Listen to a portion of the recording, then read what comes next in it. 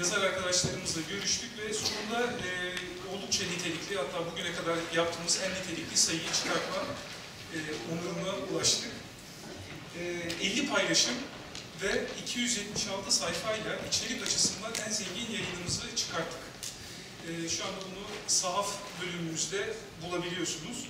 E, konu başlıklarımız neler Ütopya'da? Felsefe, psikoloji, kültür, sanat, edebiyat, tarih, politika, teoloji, teknoloji, sosyoloji ve mimari. Yani Ütopya'yı birçok açıdan ve birçok yazarla 50 50'nin üzerinde paylaşımda e, vakfımıza kazandırdık.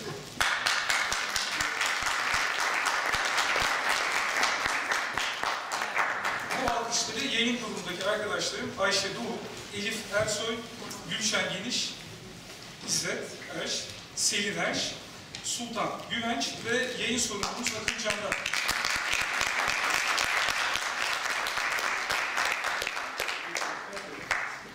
Evet, göstermek için aldım.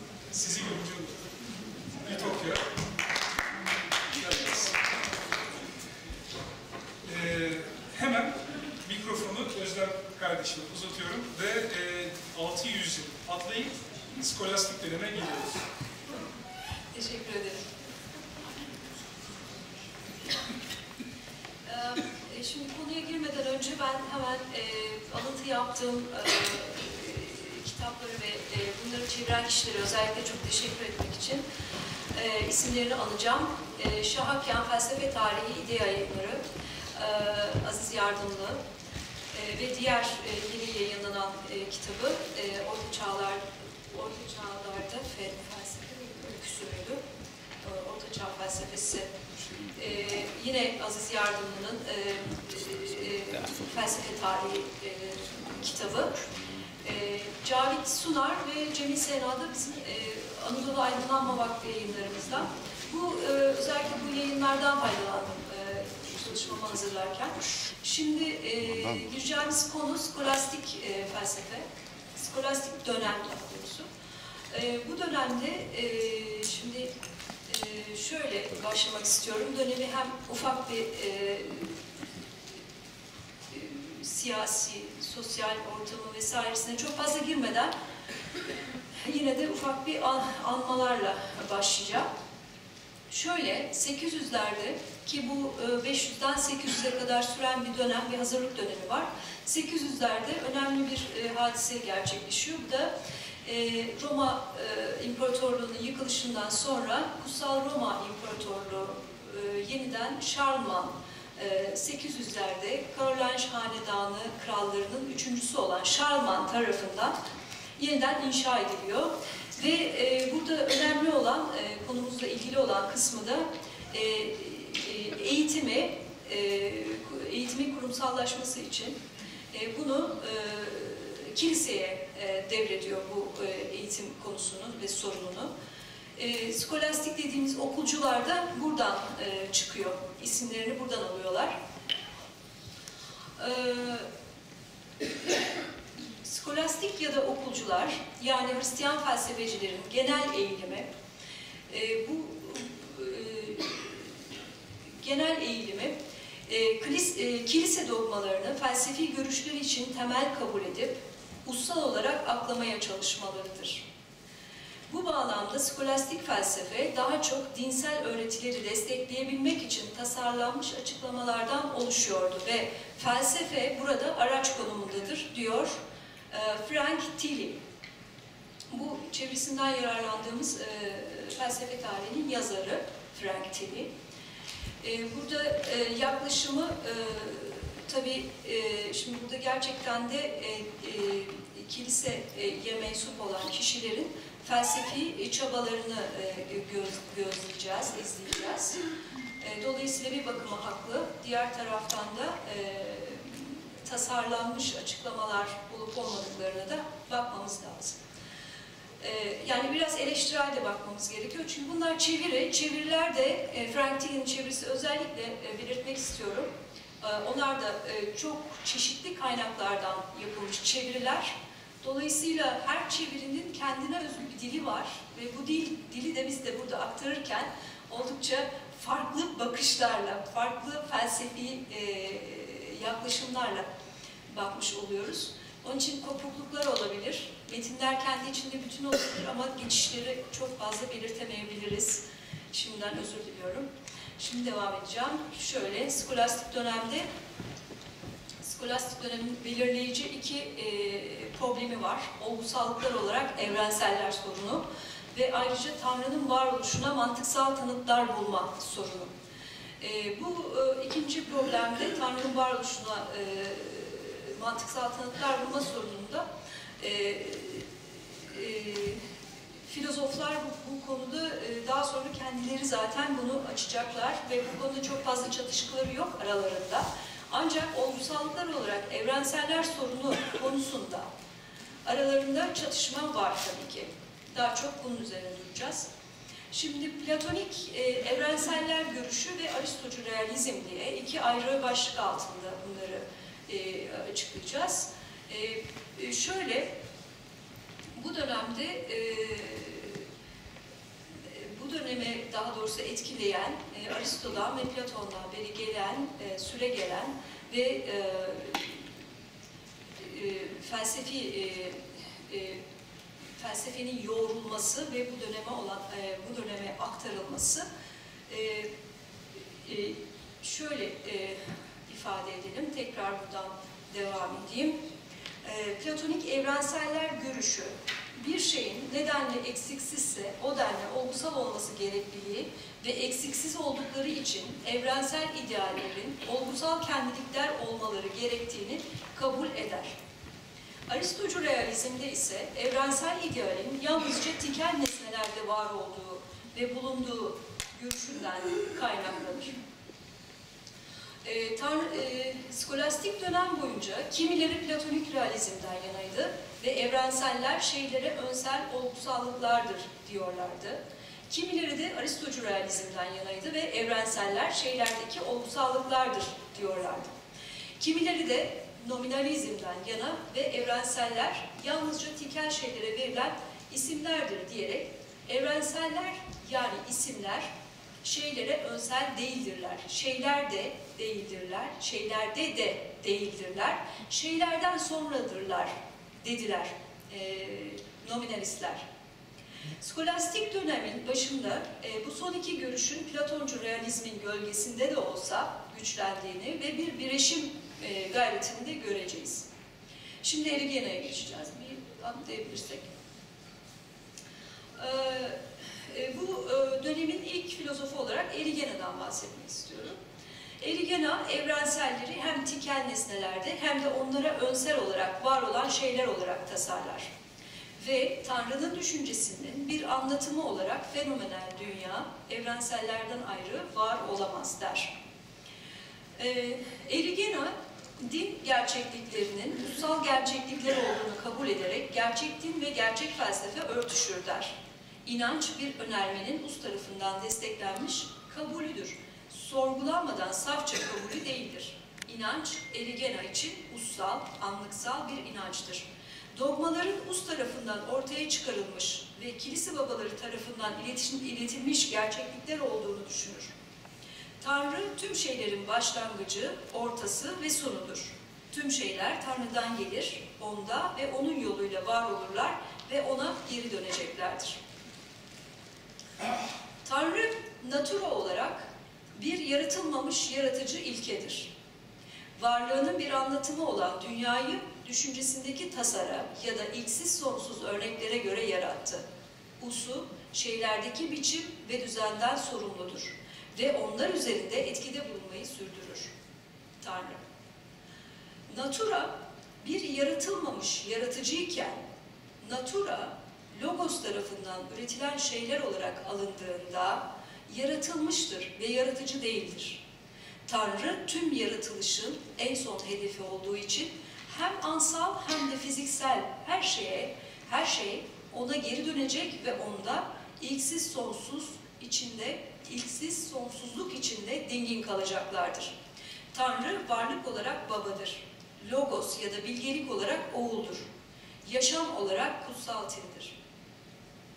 Burada Erigena'yı izliyoruz tabii. Evren şöyle devam ediyor. Evren Tanrı'nın özünün bir anlatımı ya da ürünüdür. Her şey onun düşüncesi, logos, fenomenal dünya ondan türer. Ama beliriş Tanrı'dan ayrı değildir. Çıkarılıp atılan bir şey değil. Tanrı'nın dirimli giysisidir. Tanrı ve yaratısı birdir. O, yarat o yaratısında ve yaratısı ondadır. Kendini yaratıklarda bildirmesi anlamında Tanrı ve yaratısı bir ve aynıdır. Görülemez ve kavranılamaz. Bir, tırnak içinde bir, kendini görülür kılar, biçimi ve niteliği olmaksızın kendine biçim ve nitelik verir. Evren insana bölünmüş, çoklu, çoğul evren olarak bir teofani, Tanrı'nın görünmesi olarak görünür. Ama ilkede tekil bir bölünmemiş bütün, tüm karşıtların içinde uzlaştığı bir bütündür. Tanrı öyleyse dünyaya içkindir ama aynı zamanda aşkındır.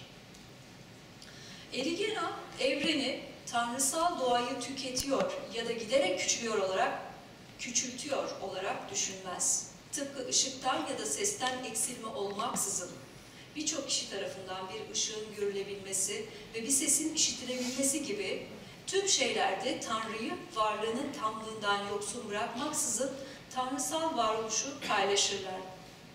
Kullandığımız terimler, diyor Tilly özellikle bu konuda, e, bu alıntı onda.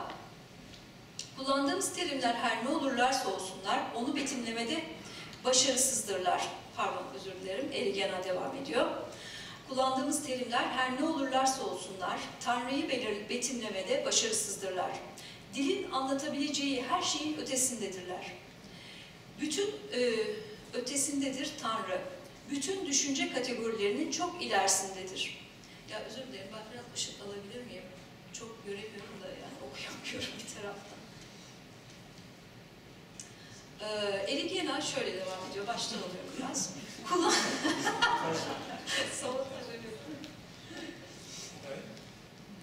Evet, biraz daha iyi ama biraz daha olabilir. Çok iyi, tamam. Tamam, evet süper, süper. Tamam, çok güzel.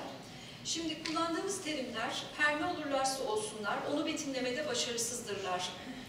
Tanrı'yı betimlemede başarısızdırlar. Dilin anlatabileceği her şeyin ötesindedir Tanrı. Bütün düşünce kategorilerinin çok ilerisindedir.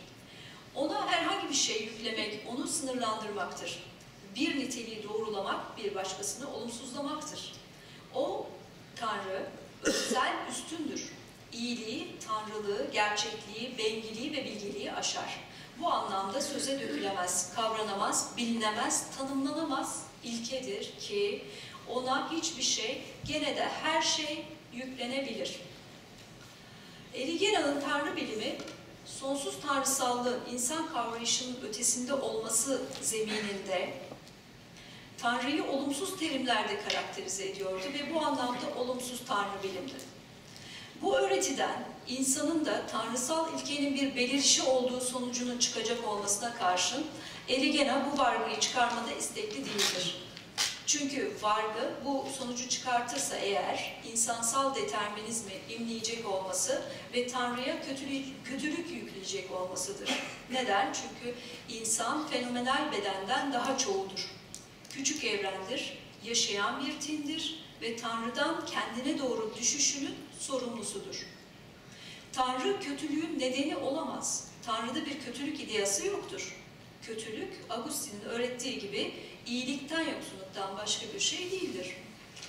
İnsan doğası ile bir birleşme yoluyla Logos, insanları e, kurtarmaya yardım eder. Kimileri Tanrı ile birleştirilerek, başkaları ise kökensel Tanrı sevgilerine geri götürülerek.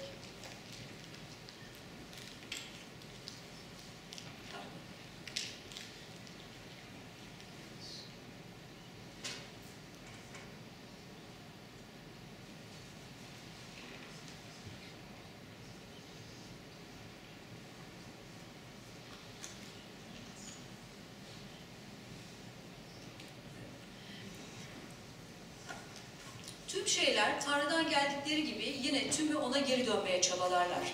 Tanrı varoluşlarının hem kaynağı hem hedefidir.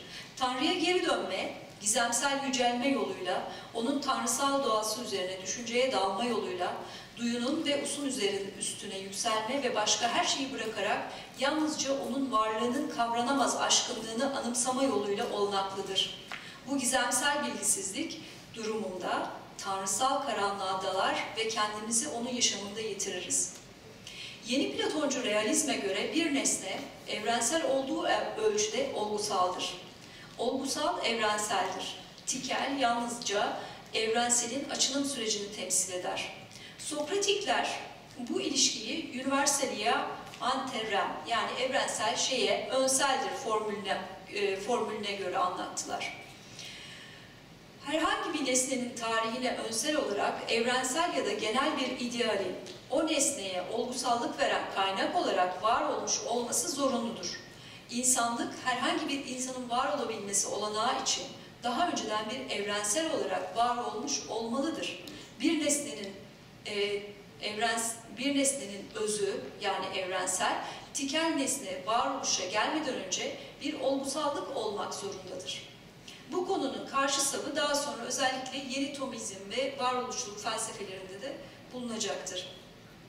Yaratma konusuna gelince bu skolastik realizm kuramını şimdi şu, e, biraz önce e, paylaştığım skolastik realizm e, kuramını Tanrı yani platonik realizm kuramını Tanrı bilime uygulayan Erigena'ya göre en yüksek birlik kökensel varlık ve tüm evrensellerin evrenseli olarak Tanrı, tüm şeyleri, tikelleri evrensel özlerden mantıksal açılım yoluyla yaratmıştır. Yaratmak yalnızca tikelleştirmektir. Bir açılım süreci ki bireysel şeyleri evrensellerden oluşturur. Erigena ölümsüzlüğün ölümsüzlüğün tikellerin evrensel özlerine geri dönüşleri olarak karşıt bir süreç olduğunu söyler ve bireysel bir insan da tüm insanlığın ortak durumuna yani evrensel özüne geri dönecektir. Ölümsüzlük şeylerin Tanrı'ya geri dönüşleri demektir. Öyle ki tüm şeylerin Tanrı'da tam birlikleri söz konusudur. Bu adı e, Frank Till'in kamu tanrıcılık yaklaşımı olduğunu söylüyor bunu. E, özetle e, tar, e, Doğanın Bölümlenmesi e, başlıklı kitabında e, Erigena'nın Doğanın Bölümlenmesi başlıklı kitabında dört tip olgusallığı içeren bir kamu tanrıcı yorum getirdi.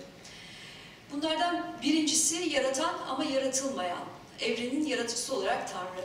İkincisi yaratılan ve yaratan, tikel, duysal nesnelerin varoluşunu önsel, kökensel nedenler olarak Tanrı'da var olan idealler ya da ilk örnekler. Üçüncüsü belli bir zaman ve yere sınırlanmış duysal nesneler, duyumsanan ve evren duysal nesneler, duyumsanan ve evrensel ideallerden açılmış olan tikel şeyler. Dördüncüsü tüm tikel şeylerin uğruna yaratıldıkları ve ona geri dönecekleri amaç ya da erek olarak Tanrı. Dördüncü de yani bir de Tanrı'dan başlıyor. Daha sonra Doğanın Bölümlenmesi isimli kitabında tekrar Tanrı'ya en son aşama olarak tekrar her şeyin Tanrı'ya döneceğini söylüyor.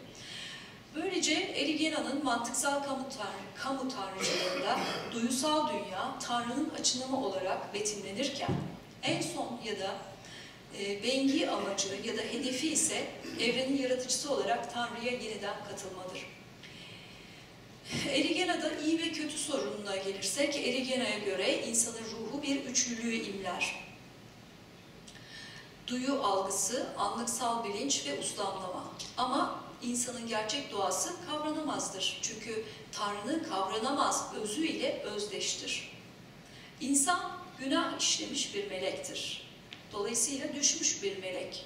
Ve gerçi yeryüzündeki ya da gökyüzündeki tüm yaratıkların en yükseği ve en soylusu olsa da günahı güzelliğini ve saflığını azaltmıştır. İnsanın günahı fiziksel doğasına yani anlıksal ya da tinsel yaşamı üzerine egemen olan duyusal yaşamına bağlı olduğu için eksiksiz güzelliği ve arılığı ancak tinin gelecekteki bir yaşamında yeniden kazanabilir. Eksiksiz güzelliğini ve arılığını. Ee, özdeksel varoluşun sorunları, örneğin hastalıklar, insanın ilk günahının onu daha yüksek bir iyiden, eksiksizliğin tam olgusallığından yoksun bırakan davranışının neden olduğu şeylerdir. Kötülük, Erigena'nın görüşüne göre Bu yüzden iyinin yokluğudur ve cehennemde ceza yalnızca insanın Tanrı'ya eksiksizliğe, en yüksek iyiye son geri dönüşünü önceleyen geçici, tinsel bir olaydır. Erigena, insanın yazgısının önceden belirlenmiş olduğu görüşüne karşı çıkarken, böyle bir görüş var çünkü, sorunun çözümünün geleneksel otoriter, otoritelerde ya da kilise babalarında aranmaması gerektiğini, sadece aklın gücüne başvurmak gerektiğini ileri sürmüştür. Bu yapıt ayrıca cehennemi vicdan azabının bir simgesi olarak görmektedir. İşte burada ileri sürdüğü düşüncelerden dolayı Erigena 855 ve 859'da iki kez konsüller tarafından mahkum edilmiştir. Tanrı'yı ancak Tanrı bilir. Çünkü o hem gerçeklikteki ve hem de mümkün bütün kategorilere aşkındır. Bu anlamda Tanrı varlıktan çok hiçlikle birleşir. Ona göre Tanrı her şeyi yaratırken aslında her şey haline gelmiştir. Yaratma Tanrı'nın isteğine bağlıdır. Yaratma hem bir katılım hem de bir armağandır. Hem doğal bir süreçtir hem de mutlak istenç sonucudur. Cisimler dünyasında yani doğanın üçüncü bölümünde insanın özel bir yeri vardır. İnsanın kökeni, tözü, Tanrı'da sonsuzca bulunan insan idesindedir. İnsan dünyadaki en soylu ve en aşağı yönleri kendinde toplayan, beden ve ruhtan oluşan bir mikrokozmostur. Küçük bir evrendir. Yaratılmış dünyanın bütün görünümlerini insan içinde taşır. Melekler gibi akıl sahibi, düşünmeye sahibidir, düşünmeye sahiptir, hayvanlar gibi duyabilir, bitkiler gibi bitkisel yaşamı vardır. İnsan ruh ve beden olarak anlaşılır, anlaşılır ama özde onu oluşturan şey ruhtur.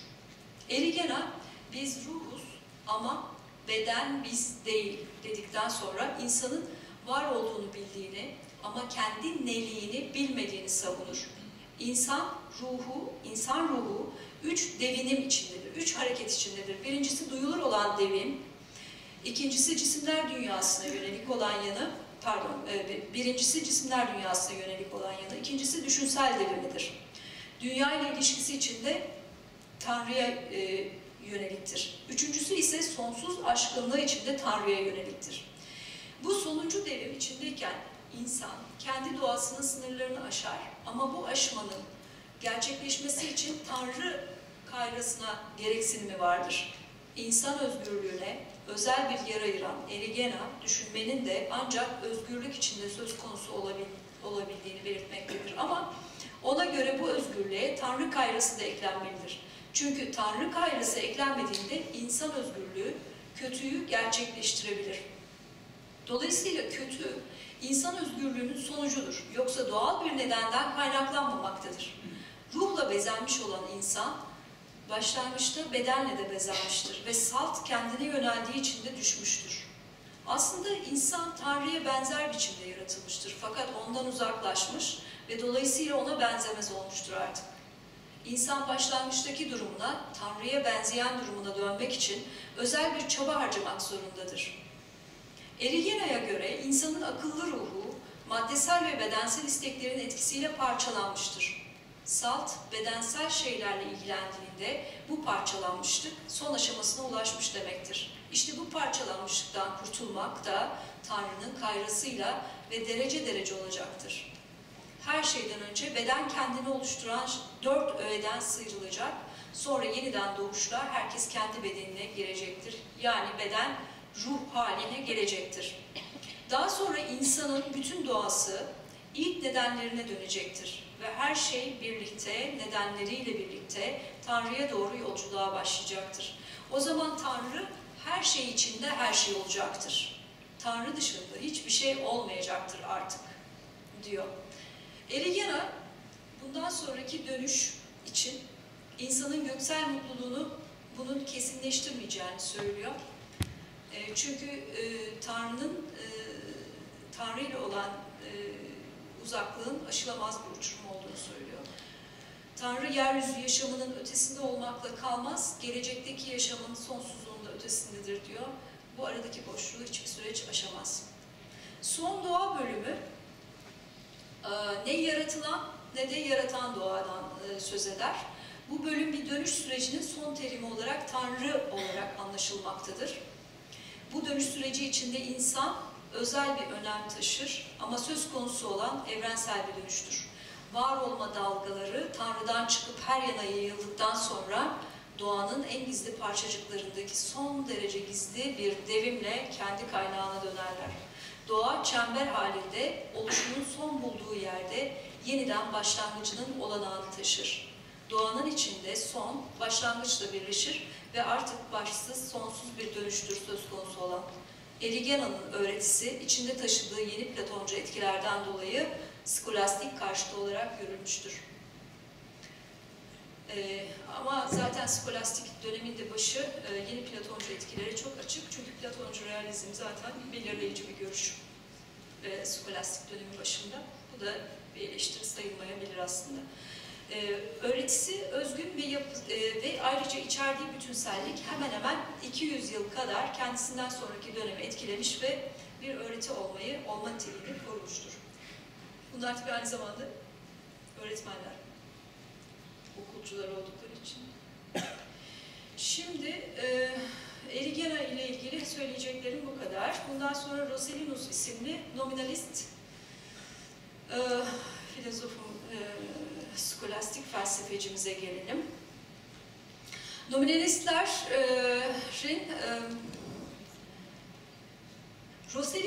e, nominalist, nominalist felsefe okulunun kurucusu olarak skolastik döneme evrenseller yalnızca bir küme ya da bir sınıf oluşturan, bireysel şeyleri topluca belirten isimlerdir diyerek yaygın görüşü rahatsız edecek bir bakış açısı getirdi.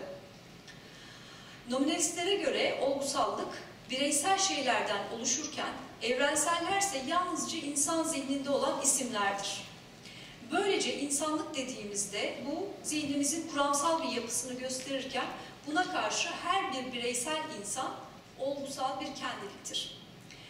Platoncu realizm, evrensel tikel şeyden önce var olur önermesine karşıt olarak nominalistler, evrensel tike, tikel şeyden sonra var olur önermesini ortaya koydular.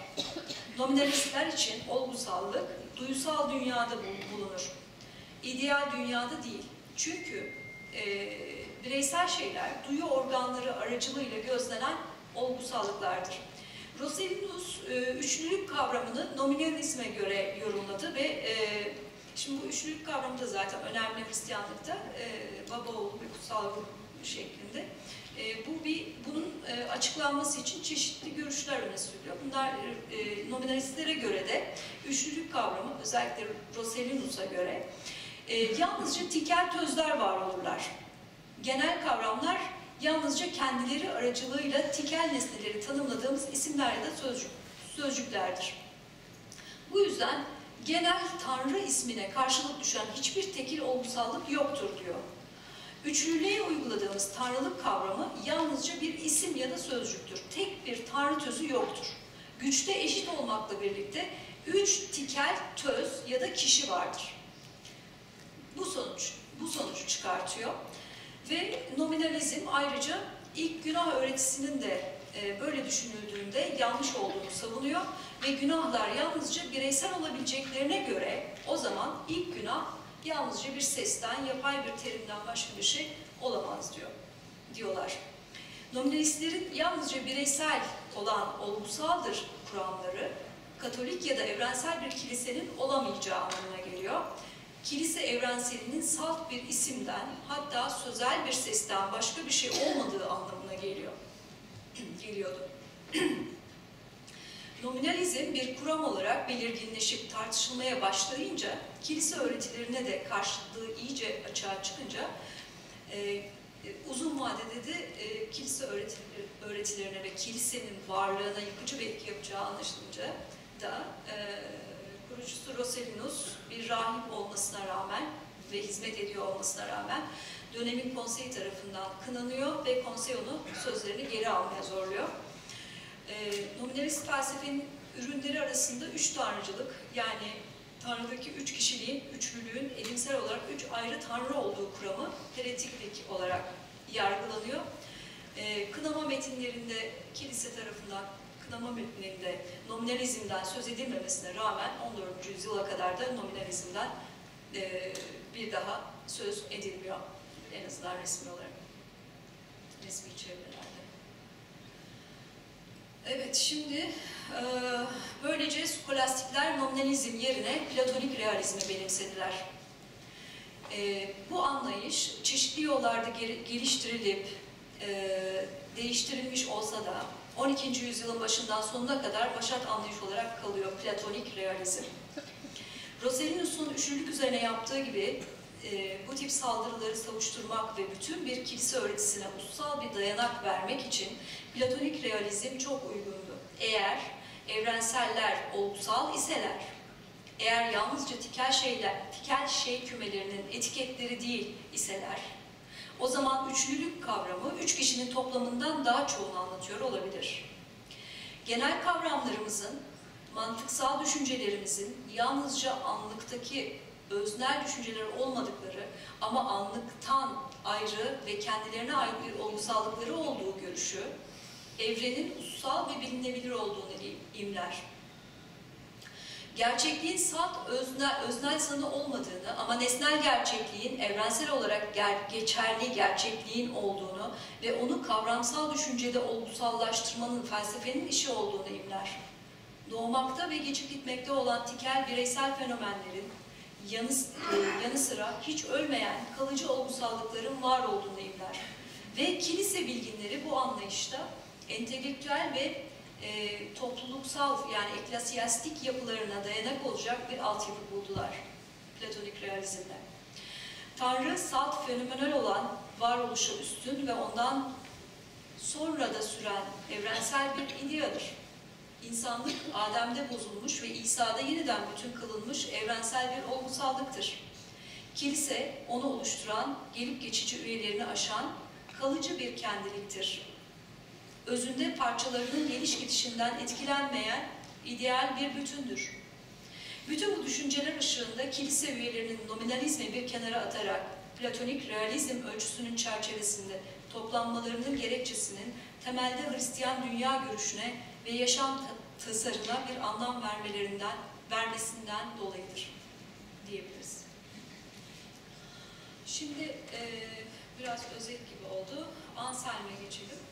Anselm e, dönemin e, önemli e, öğretmenlerinden bir tanesi. E, Aziz Anselm diye anılıyor. Anselm, Erigena'nın yeni Platoncu realizmini felsefesinde tam olarak geliştirdi. Anselm, Tanrı'nın varoluşunu tanımlamak için ünlü varlık bilimsel ustamlamasını kullandı ve Tanrı en evrensel varlık olması ölçüsünde tüm varlıklarında en olgusalıdır. Saltık olarak olgusaldır çünkü tüm yüklemleri evrenseldir. Bir insan olarak bireysel kişinin insanlığın genel özelliği olmayan kendine özgü özellikleri vardır. Ama yalnızca tek bir evrensel Tanrı olduğu için Tanrı'nın yüklemlerinin tümü de evrenseldir. Bu bir e, şey karşılaştırma yapıyor burada. E, tüm insanlığı ortak evrensel nitelik, herhangi bir tikel e, bireyin var olmasının zor, e, var olmasını zorunlu kılmazken, Tanrı'nın evrensel bir varlık olması olgusu onun var olması demektir. Yani herhangi bir e, tekil bireyin var olması için e, var olmasını zorunlu kılmaz bir insanlık ideası, herhangi bir kişinin var olmasını zorunlu kılmaz diyor. Ama Tanrı'nın bütün yüklemlerinin, olgusal, e, bütün yüklemlerinin evrensel olması onun var olduğunun ispatıdır demiş oluyorlar. Demiş oluyor e, sen Al- Anselm, yani bunun varlık e, bilimsel ustamlaması böyle bu şekilde. Daha büyüğünü ve daha yükseğini düşünemeyeceğimiz bir eksiksiz varlık düşüncesi taşıdığımız için Böyle bir varlık zorunlu olarak var olmalıdır. Çünkü eksiksizlik varoluşu imler. Olgusallıktan yoksun herhangi bir düşünce, kendine özgü hiçbir olgusallığı olmayan herhangi bir kavram yani eksikli olacaktır. Oysa eksiksiz bir varlığın yüklemlerinden biri de edimsel varoluştur. Anselm'in Tanrı kavramı, Saint Augustin ve Platon'un e, Tanrı kavramlarıyla karşılaştırıldığında daha üstün ya da soylu hiçbir şeyin tasarlanamayacağı en yüksek iyi ile özdeştir. Eleştiri, geliyor bu konuda ona. Ee, Keşiş Gano Gaunilon isimli bir keşişten e, San Anselme bir e, eleştiri geliyor. Diyor ki, herhangi bir olgusal olmayan bir nesnenin söz gelimi eksiksiz bir adanın düşüncesini, ada yani bir ada düşüncesinin taşıdığını ve bu düşüncenin onun varoluşunun tanıtı olduğunu ileri. Herhangi birisi böyle bir düşünceye sahip olabilir. Eksiksiz bir ada tasarlıyorum kafamda diyebilir. Bu bağlamda Ansel varlık bilimsel uslamlamasını edimsel olarak tanıtlamamış olur. Yani Tanrı ve ada arasında ne gibi yani ikisini de tanı- tanıtlamış oluyorum. Eksiksizliği düşündüğüm zaman tanıtlamış mı olurum diye soruyor. Ya da böyle bir eleştiri getiriyor. Tanrı'nın olgusallığını bu şekilde nasıl ispatlamış olabilirsin diye.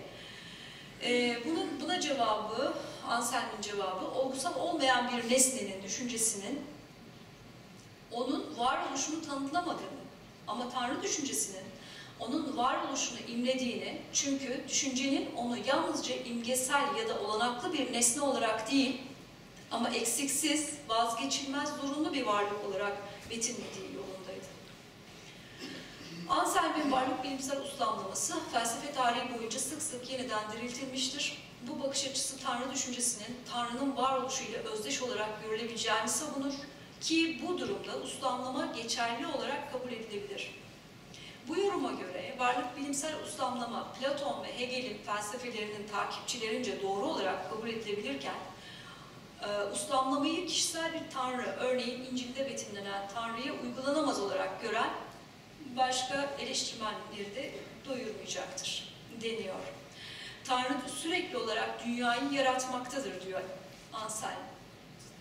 Bulunuşu yoluyla onu unutulmaktan kurtarmakta ve evrendeki tüm şeylere eşlemleri oldukları ideal, evrensel arketiplere katılmaları yoluyla olgusallık vermektedir. Örneğin bir kimse ancak evrensel, bengi bir ilk örnek olarak ideal türede, ideal adaletten pay alıyorsa adil olacaktır.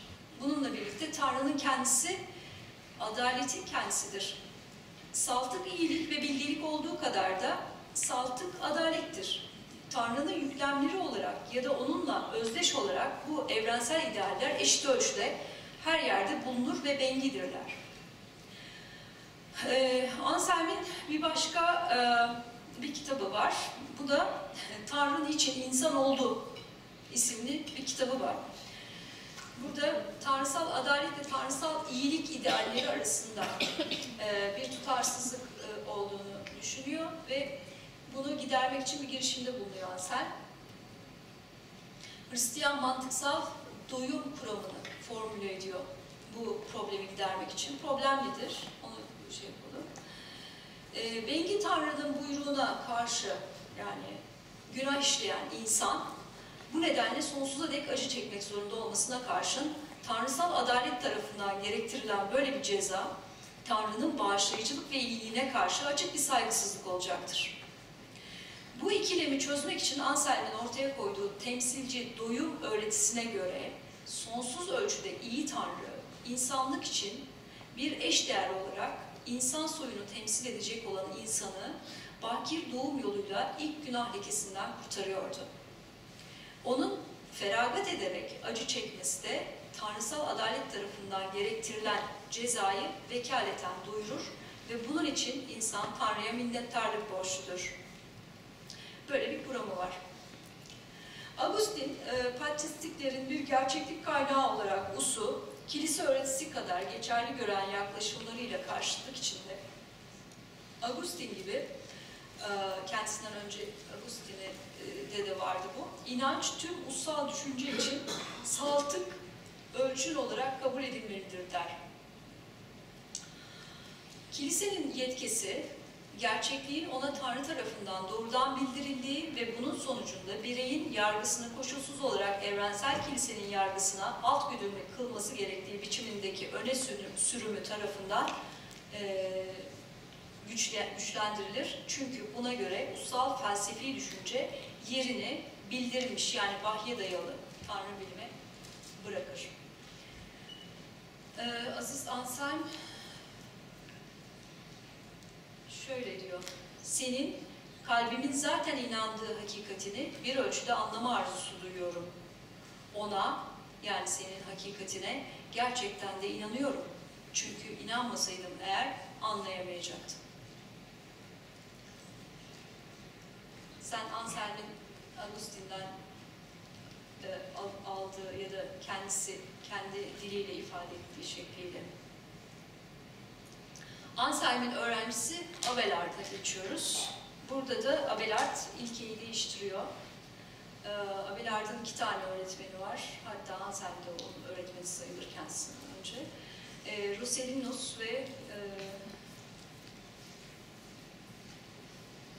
bir nevi e, Aristocu realizmle Platoncu realizmi e, ilişkilendirmeye çalışan bir hatta filozof e, diyebileceğimiz bir karakter. Ona geçelim. Şimdi deniliyor ki Abelard, Platoncu realist evrensel öğretisine ve nominalist tikeller öğretisine karşı yeni bir yaklaşım bulmaya, aralarında bir orta yol geliştirmeye çalıştı. Patristik felsefecilerin birbirlerinden uzaklaşan ya da birbirleriyle çatışan kuramlarını ortaya koydu ve sorunları çözme ve gerçekliklere varmanın uygun aracı olarak inanca ve yetkiye değil, usa başvuru yolunu savundu. Her konu için bir olumlu ve olumsuz görüşler bilançosu çıkardı. Tartışmadaki herhangi bir konuya ilişkin tüm verilerin e, tartışmaya ilişkin nerede? Düz düz okuyunca da olmuyor nasıl bilmiyorum. Neyse. E, tartışmadaki herhangi bir konuya ilişkin tüm veriler sunulduktan sonra çatışan kanıtların ışığında usul gerçeklik için uygun ölçüt olarak bu diyalektik yolda çıkarılması gereken sonucu belirlemesi gerekiyordu. Buna göre Abelard'ın yöntemi ussalcılığın yöntemidir diyor Tilly, Frank Tilly. Kendisine daha sonra e, danışabiliriz. E, buna göre Abelard'ın yöntemi ussalcılığın yöntemidir. Abelard'ın sorunları e, çözümlemede diyalektik yöntemi yazılı çalışmalarında da kullandığı biçimiyle daha sonra Peter Lombard ve Saint Thomas gibi genç skolastikler tarafından da belli değişikliklerle e, kullanılmıştır, benimsenmiştir hatta. E, Abelard'ın ussalcılığı onu Agustin Anselm ilkesi yani anlayabilmek için inanırımı tersine çevirmeye itti ve inanabilmek için anlarım ilkesini formüle etti. Anselm inanca us üzerinde birincilik verirken Abelard ise usu daha yüksek bir konuma getirdi. Abelard bir öğretiye Tanrı'nın onu doğru olarak bildirdiği için değil ama yalnızca usun buyrukları nedeniyle inanıldığını öne sürdü. Bundan başka kuşku duymada hiçbir günah olmadığını ileri sürdü. Çünkü kuşku duyan kişi bununla gerçeği araştırmaya ve sonunda onu bulmaya götürülür dedi. Ee, görüşü e, Abelard'ın felsefi ussalcılığı onu dine karşı özgürlükçü bir tutumu benimsemeye yöneltti ve töre bilim e, alanında e, özgür istencin rolünü vurguladı. Görüşü Hristiyanlığın yeni düşünceler sunmayıp daha çok dinlerin tarihinde uzun bir sürecin tamamlanışını temsil ettiğini ve Yunan felsefesinin demokratikleşmiş bir biçimi olarak görülmesi gerektiğiydi. Abelard için eski Yunan felsefecileri örneğin Sokrat ve Platon Hristiyan dönemin başlangıcından çok daha önce Hristiyanlığın temel ilkelerini, ahlaksal yasayı öğretmiş olan insanları esinlendirmiş görünüyor. Diyor e, kim? Şahakan. Şimdi e, Abelard'ın e, Abelard e, töre biliminde, töre bilimi özel olarak bir iyi istenç sorunu olarak görüyor töre bilimini. Törel davranışın iyi bir yürek tarafından esinlendirilen, iyi niyetler tarafından harekete geçirilen eylemler demek olduğuna inanıyordu. Ahlak yalnızca bir kimsenin edimsel olarak yaptıklarını, yerine getirdiği edimleri değil ama eylemlerini yönlendiren amaç ya da istenci, onun niyetini de ilgilendiren bir sorundur. Buna göre açık bir vicdanı olan kişi ahlaka gerçekten aykırı bir şey yapamaz. Üstelik yanlış ya da yetersiz ve e, bu yüzden yanıltıcı olabilse bile Abelard istenci ve duyuncu yani vicdanı uyum içinde birlikte işler işlev görüyorsa kişinin erdemli olarak görülmesi gerektiğini çünkü Tanrı onu yalnızca açık davranışına göre değil ama daha çok davranışını teşvik eden niyetine, iyi istencine göre yargılar. Bununla birlikte iyi istenç tarafından, bireysel duyuncu tarafından öncelenmiş olmasına ek olarak açık bir edim, ayrıca Tanrı'nın istenci ve iyi isteği tarafından belirlendiği biçimiyle haklı davranış ilkeleriyle uyumlu olmalıdır. Abelard, bireyin öznel amacı ve Tanrı sevgisi onu Tanrı'nın ahlaksal buyruklarına boyun eğmeye iterken ancak Tanrı'nın iradesi ahlaksal ilkeler olan ahlaksal yasanın doğasını belirleyebilir der ve öznel alandaki ahlaksal amaç ya da sorumluluk ile nesnel alandaki ahlaksal edimler ya da yasalar arasında bir ayrım getirir. Ve şöyle devam eder. Henüz akıl ve hürriyetini kullanamayan bir kimse herhangi bir kanunu bozmanın veya herhangi bir ihmalin suçlusu olamaz. Zaten asıl günah edimde, günahı edimde aramak doğru değildir. Bir kötülük yapılmamış olsa bile kararlaştırılmışsa ya da niyet edilmişse yapılmış sayılır. Bu itibarla asıl suç niyetindir ve günah da onundur. Abelard için erdemin koşulu kötülüğü yenebil, yenebilmektir. Zira erdemli olabilmek için kötülükle savaşmak gereklidir. Günah çıkarma, çile ve tövbe içten geldiği takdirde değerlidir. Doğal ahlak, vahyedilmiş ahlaktan daha önce var olduğu için buna uyan insan da Tanrı inayetine layık olacak ve kurtulacaktır. Bu da Cemil Senar'dan anlatıydı. Ee, şimdi Abelard'ın kavramsalcılık öğretisi var. Bu ilginç. Abelard, e, Roselius'un e, isimci görüşlerini, isimci, nominalist görüşlerini Jean-Paul William'ın Platoncu realist görüşleriyle birleştirmeye yönelik bir girişimde formüle etti. Yöntemi bir ustamlamanın her iki yanı içinde ussal değerlendirme isteminde bulunuyordu. Her iki öğreti tipinde de usa uygun görünen her şeyi kabul etme yöntemi onun dizgesini, kavramsalcılığını oluşturuyordu. Bu bakış açısı daha sonra Saint Thomas ve Don Scotus gibi önde gelen skolastikleri de etkilemiştir.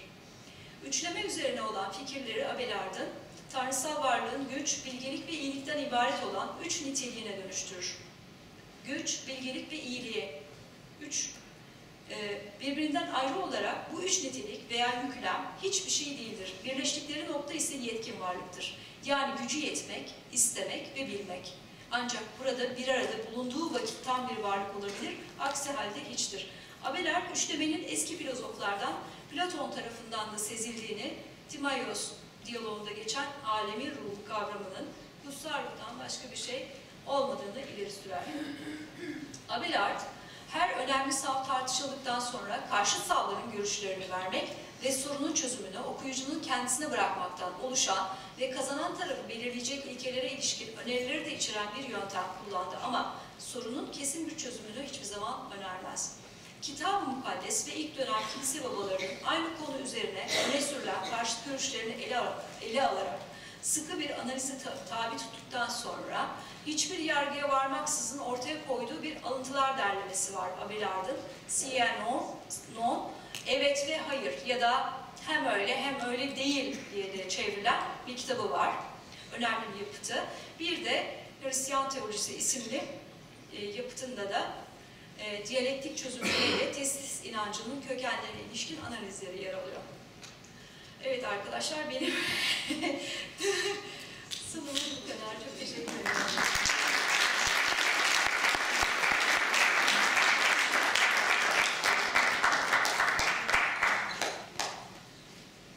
Tabii ve böylece Aziz Toma'ya sözü bırakıyorum demeliydim ve bırakıyorum Aziz Toma.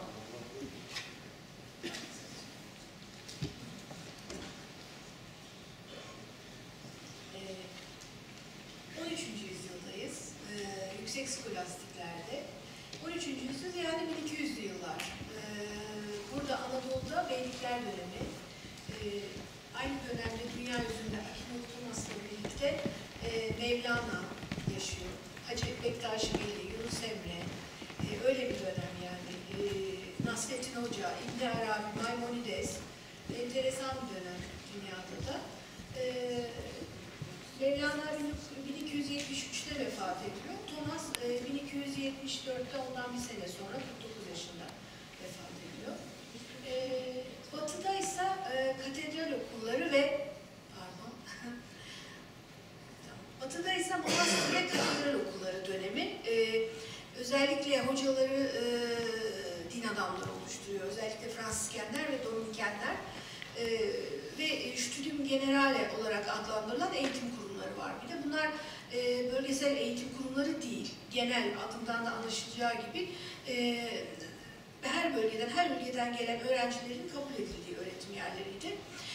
Buralarda başta dönemin olmazsa olması liberal sanatlar okutuluyor. E, Septem Artes Liberal, Liberales, 7 e, liberal sanat deniyor bunlara. Trivium yani retorik, e, man, e, gramer ve mantık üçlüsü e, ve e, quadrium dedikleri geometri, aritmetik, astronomi ve müzik dörtlüsü. E, ayrıca teoloji, hukuk ve e, tıp eğitimi de veriyorlar.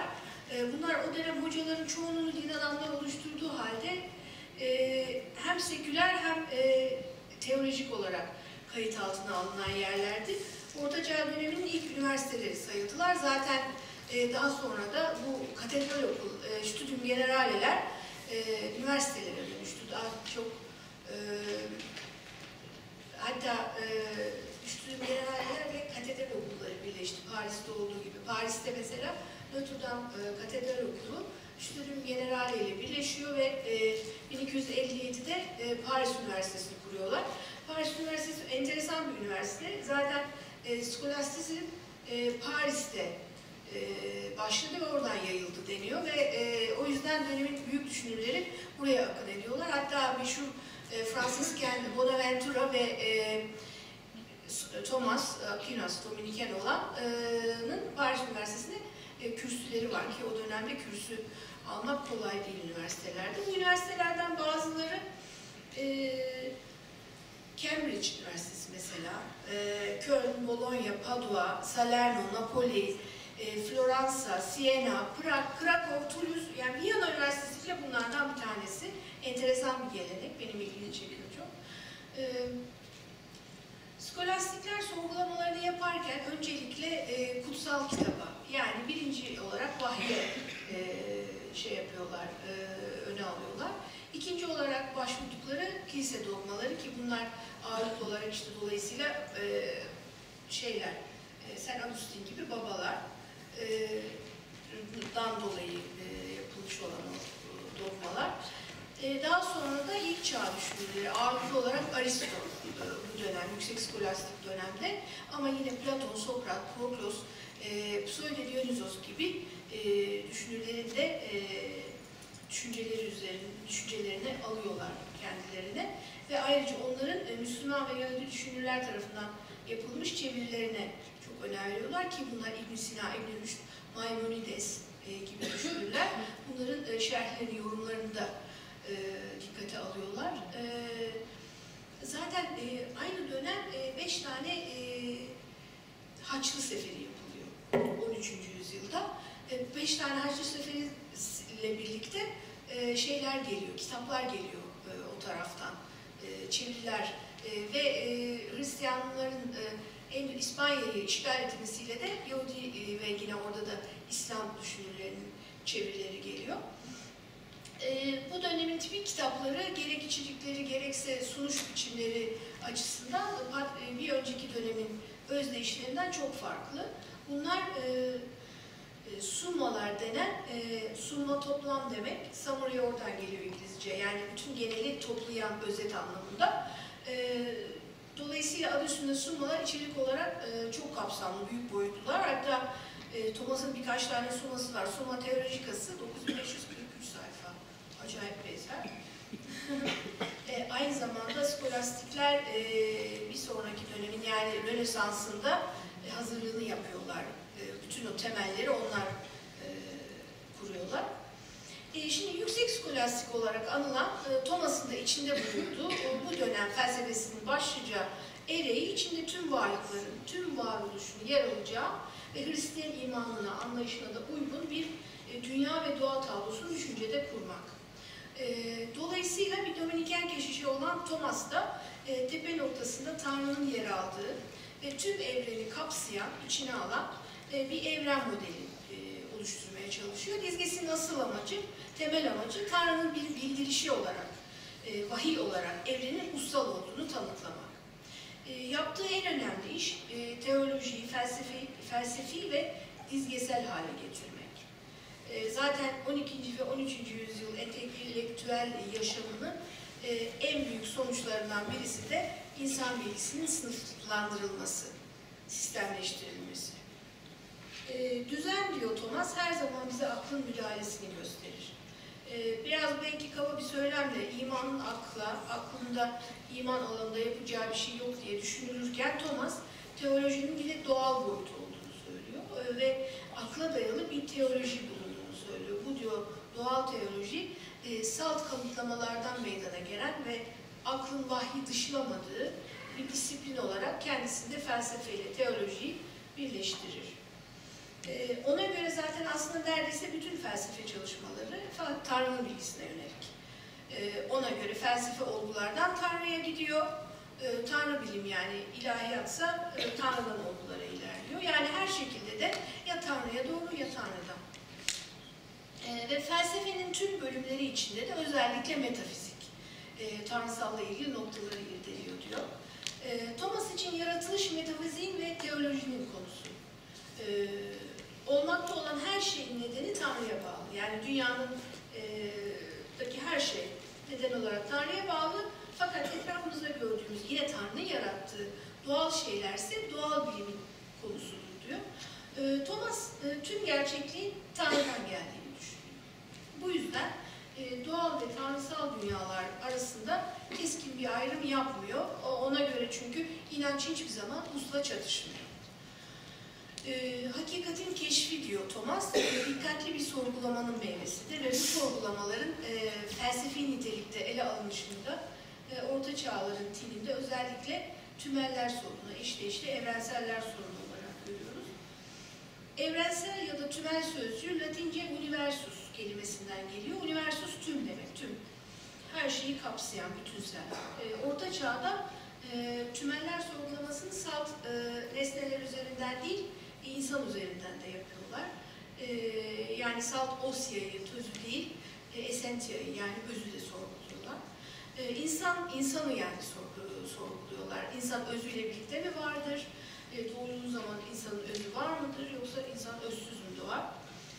E, dolayısıyla Aristoteles ve Platon'un insanın varlığı nedir? E, ontolojik e, sorgulamasının tanıtlamalarını e, alıp onlar üzerinden yeni sorgulamalar yapıyorlar ve bu tanıtlamaların e, kutsal kitaptaki karşılıklarını bulmaya çalışıyorlar. Akinalı Thomas her şey Tanrı'dan çıkar e, ve bu onda hiçbir şey eksiltmez demişti. En son olgusallık olarak diyor, e, Tanrı evrenle sürekli ilişkidedir. Yani hem devindirici ilk nedendir diyor, hem de bu nedeni bilendir, bilici nedendir diyerek bilici nedeni e, koyuyor, ona yüklüyor. Evrenseller diyor Tanrı'nın anlamında içkindirler. Böylece e, anterem demiş oluyor. Yani evrenseller şeyden öncedirler. E, bu arada Thomas'ın felsefeye yaptığı katkılardan biri de e, Tanrı ile ilgili yaptığı uslanmalar. Dolayısıyla araya onu sokmak istiyorum. E, beş tane uslanmama yapıyor Tanrı ile ilgili. Bunlar devin e, veya hareket işte ilk neden uslanmaması, e, etken neden uslanmaması, olgusallık e, ve zorunluluk uslanmaması, e, eksiklik veya eksiksizlik ya da mükemmellik veya e, mükemmellik dereceleri dediğim e, aşamalar. Bu yani nesneler eksiklidir, idealler eksiksizdir anlamında. E, beş, beşincisi de tasarım. Bir dizayn üzerinedir. E, dünya üzerinden e, gidiyor bu uslanmamada. E, bu da erek bilimsel bir uslanmama diyor. Dolayısıyla bu beş uslanmamanın e, birliği olarak Tanrı'yı tasarlıyor. Şimdi birincisi hareket, devim. E, şeyler diyor e, hareket eder. Etrafınızdaki şeylere bakın diyor. Her şey hareket eder. Bunun da en e, e, belirgin formu değişimdir. Her şey değişir. E, dolayısıyla değişim diyor potansiyelden eyleme geçiştir. Yani bil kuvveden bil fiile ve e, devinen bir şey dışında hiçbir şey potansiyelden e, eyleme geçemez. Yani hiçbir şey kendi kendisini e, potansiyasından tahakkuk ettiremez mümkün değildir diyor e, düşüncesinde. E, ve eğer bir ilk hareket ettirici, ilk devrilici olmazsa da bir sonraki devrim de olmaz. Dolayısıyla çünkü geri de gidersek bunu bu hareket ettirip bunu en son e, en, en önce nereye gideceğiz? Bu sonsuza gider diyor. O yüzden bir ilk hareket ettirici koymamız gerekir, gerekir ve bu hareket etmiyor olması lazım ki e, yani kendi kendisinden e, nedeni olması gerekiyor. E, bir, bir şeyi önceleme, bir şeyin onu öncülememesi için. Burada Aristo'daki gibi devinmeyen ilk devindiriciyi söylüyor ama onu e, bir anlamda aşıyor çünkü e, diyor ki, şöyle diyor, e, ilk devindirici diyor, içinde hiçbir potansiyel kalmamış, hepsi tahakkuk alanına çıkmış olan saf bir eylem olmalıdır, saf bir fiil. E, ve diyor, e, devin bunu kendi kendisine koyamayacağından da e, bu tasarlanmış olmalıdır. Yani bilici neden arar, o onu bilir ve bilerek e, kendisi koyar.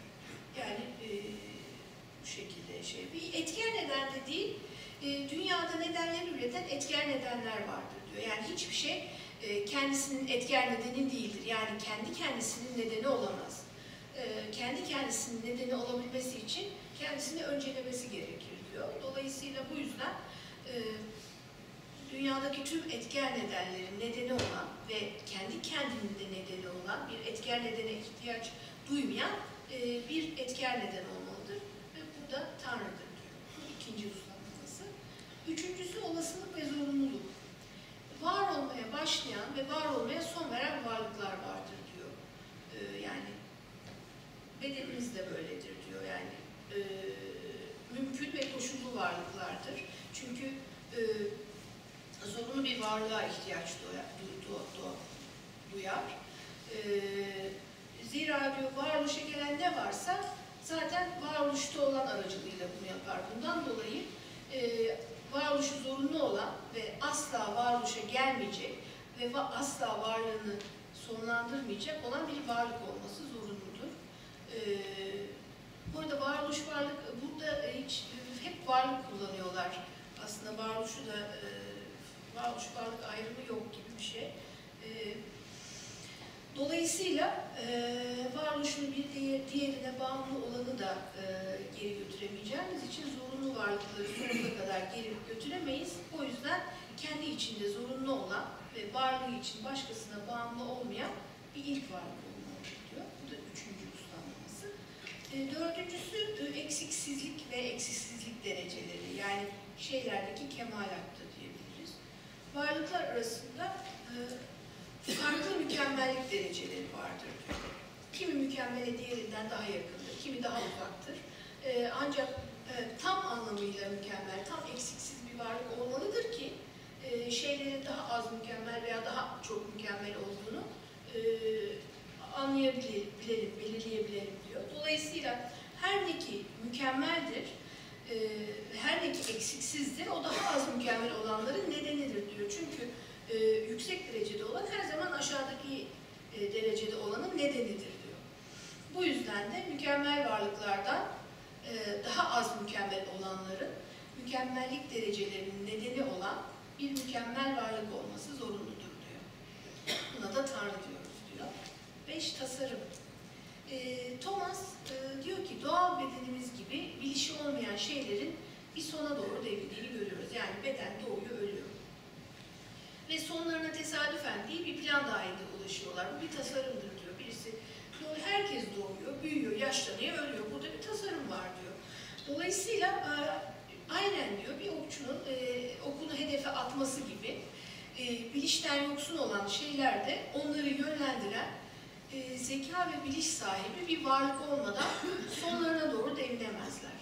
Bu nedenle diyor tüm doğal şeylerin sonlarına devinme, devinmelerini onlara emreden bir zeki varlık vardır ve bu zekada Tanrı'dır diyor. E, dolayısıyla bilici Tanrı'yı e, nereden buluyordu? E, işte böyle buluyor. Nesnelerin her birinin diyor ilişkide bir kozmos içinde, bir düzen içinde olduğunu e, ve düzenliliğin de bir erek taşıdığını söylüyor. Erek olmasaydı düzen olmazdı diyor. Dolayısıyla düzen varsa ve nesnenin kendisinde de düşünce yoksa e, o zaman onu düzenleyen vardır sonucuna geliyor. E, ne demişti başta? E, düzen bize her zaman aklın müdahalesini gösterir demişti. Do- Dolayısıyla bir akıl vardır bu erekselliği düzenleyen. Erekselliği düzen için kullanıyor. Düzeni bir istence bağlıyor. Ve bu istenç de saltık olarak Tanrı olmalıdır diyor. Böyle bir çıkarsamayla buluyor Tanrı'yı. böyle bir tanrı e, tamlık olduğu için ve eksikli olan da tamlığı bilemeyeceğinden ancak tanrı kendi kendisini tam olarak bilebilir diyor. Dolayısıyla Thomas'a göre insan ilk neden ya da işte her şeye egemen iyi olarak da adlandırdığı Tanrı'nın ne olduğunu değil ama ancak ne olmadığını kavrayabilir. Ee, mahluklardan Tanrı'ya gidebilir. Ee, Tanrı ise sebebi olduğu her şeyi bilir diyor. Çünkü e, Tanrı hem kendisini hem de diğer her şeyi özü yoluyla anlar diyor. E, tek bir eylemle diyor bilir. E, tek bir ilahi kelam, logos diyor. Tanrı'daki her şeyin ifadesidir.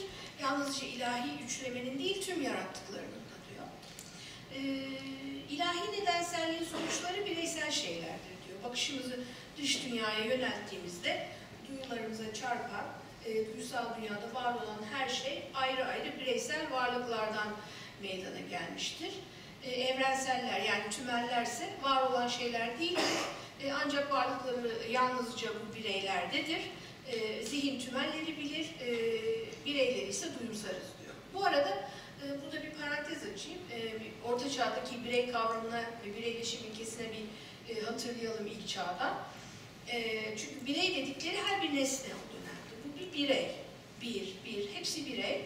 E, individual diyorlar yani. Individualeden geliyor ve e, bölünemeyen demek Latince.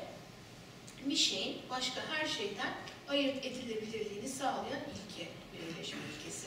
Herhangi bir şeyi, tekil bir şey, bir birey, daha üst varlık düzeyine geçersek fert ya da işte şahıs olarak görmemize imkan sağlayan e, bir ilkeden bahsedilebilir mi? Bunu sorguluyorlardı bu ilkeyi bulduklarında. Bu türden sorular metafiziğin önemli problemlerinden biri e, olan e, birey olma, bir şeyin başka her şeyden ayırt edilebilirliğine yani e, kısaca bireyleşim problemine ilişkin temel sorular.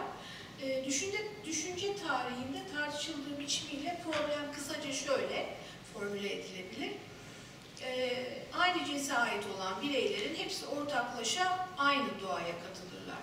Doğa dediğimiz e, şey burada bizzat tür E, ve o aynı türden bireylerin her birinde eşit düzeyde bulunur diyorlar.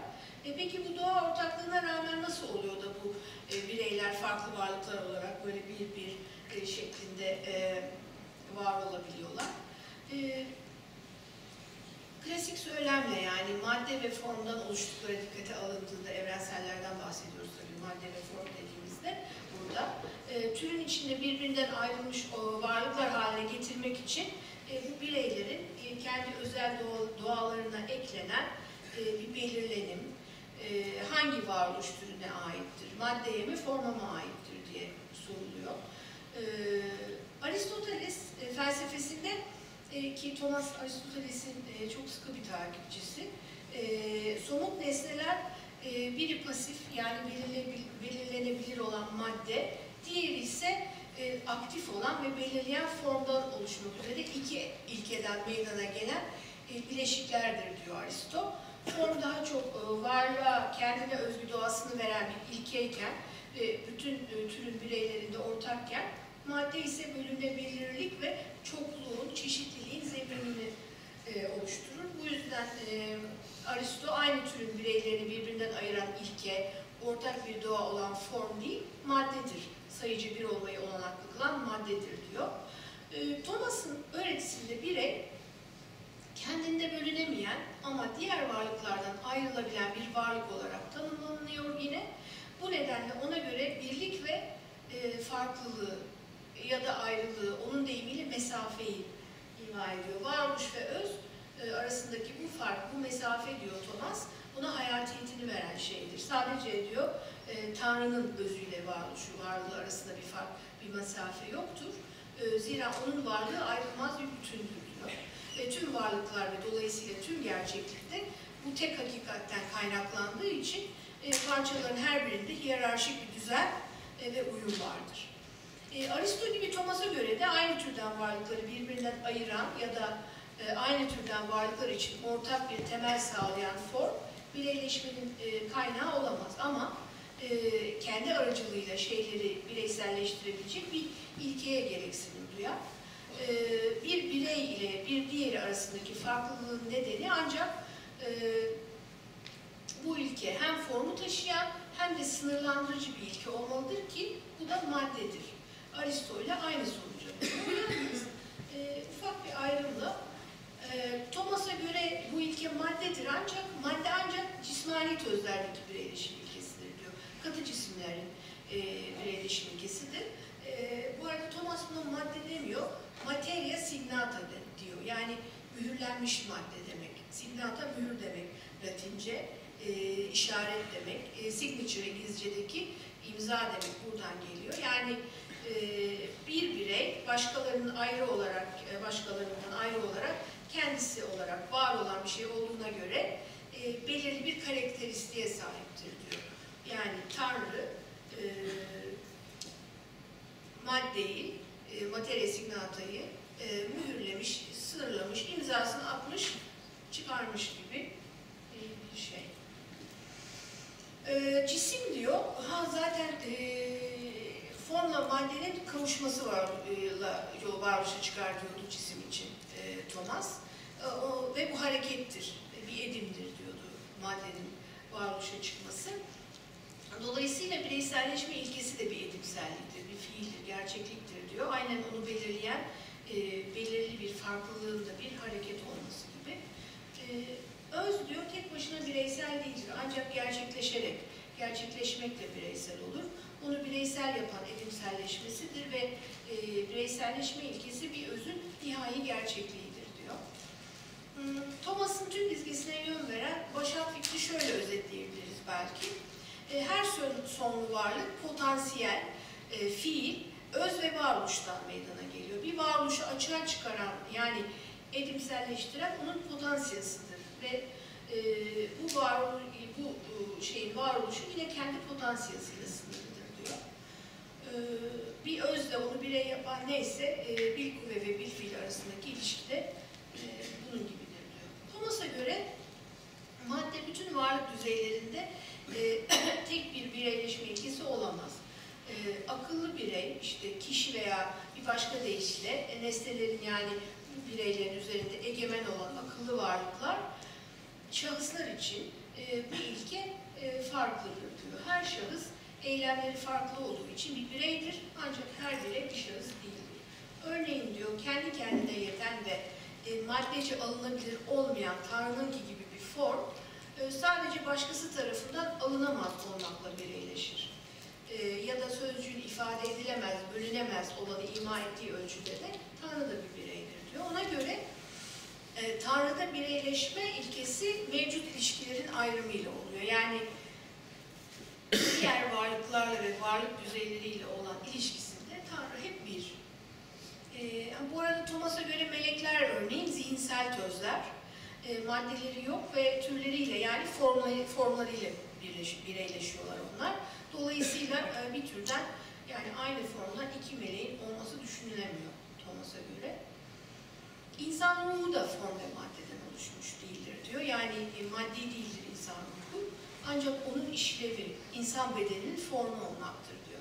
Bütün insan ruhları aynı türdendir. E, ve tek bir ruh vardır diyor Thomas. E, ruh için Aristo gibi e, ruhun doğasını açıklamak için de diyor, ruhun yaşayan şeylerdeki e, yaşamın biricik ilkesi olarak tanımlanması ön koşuldur.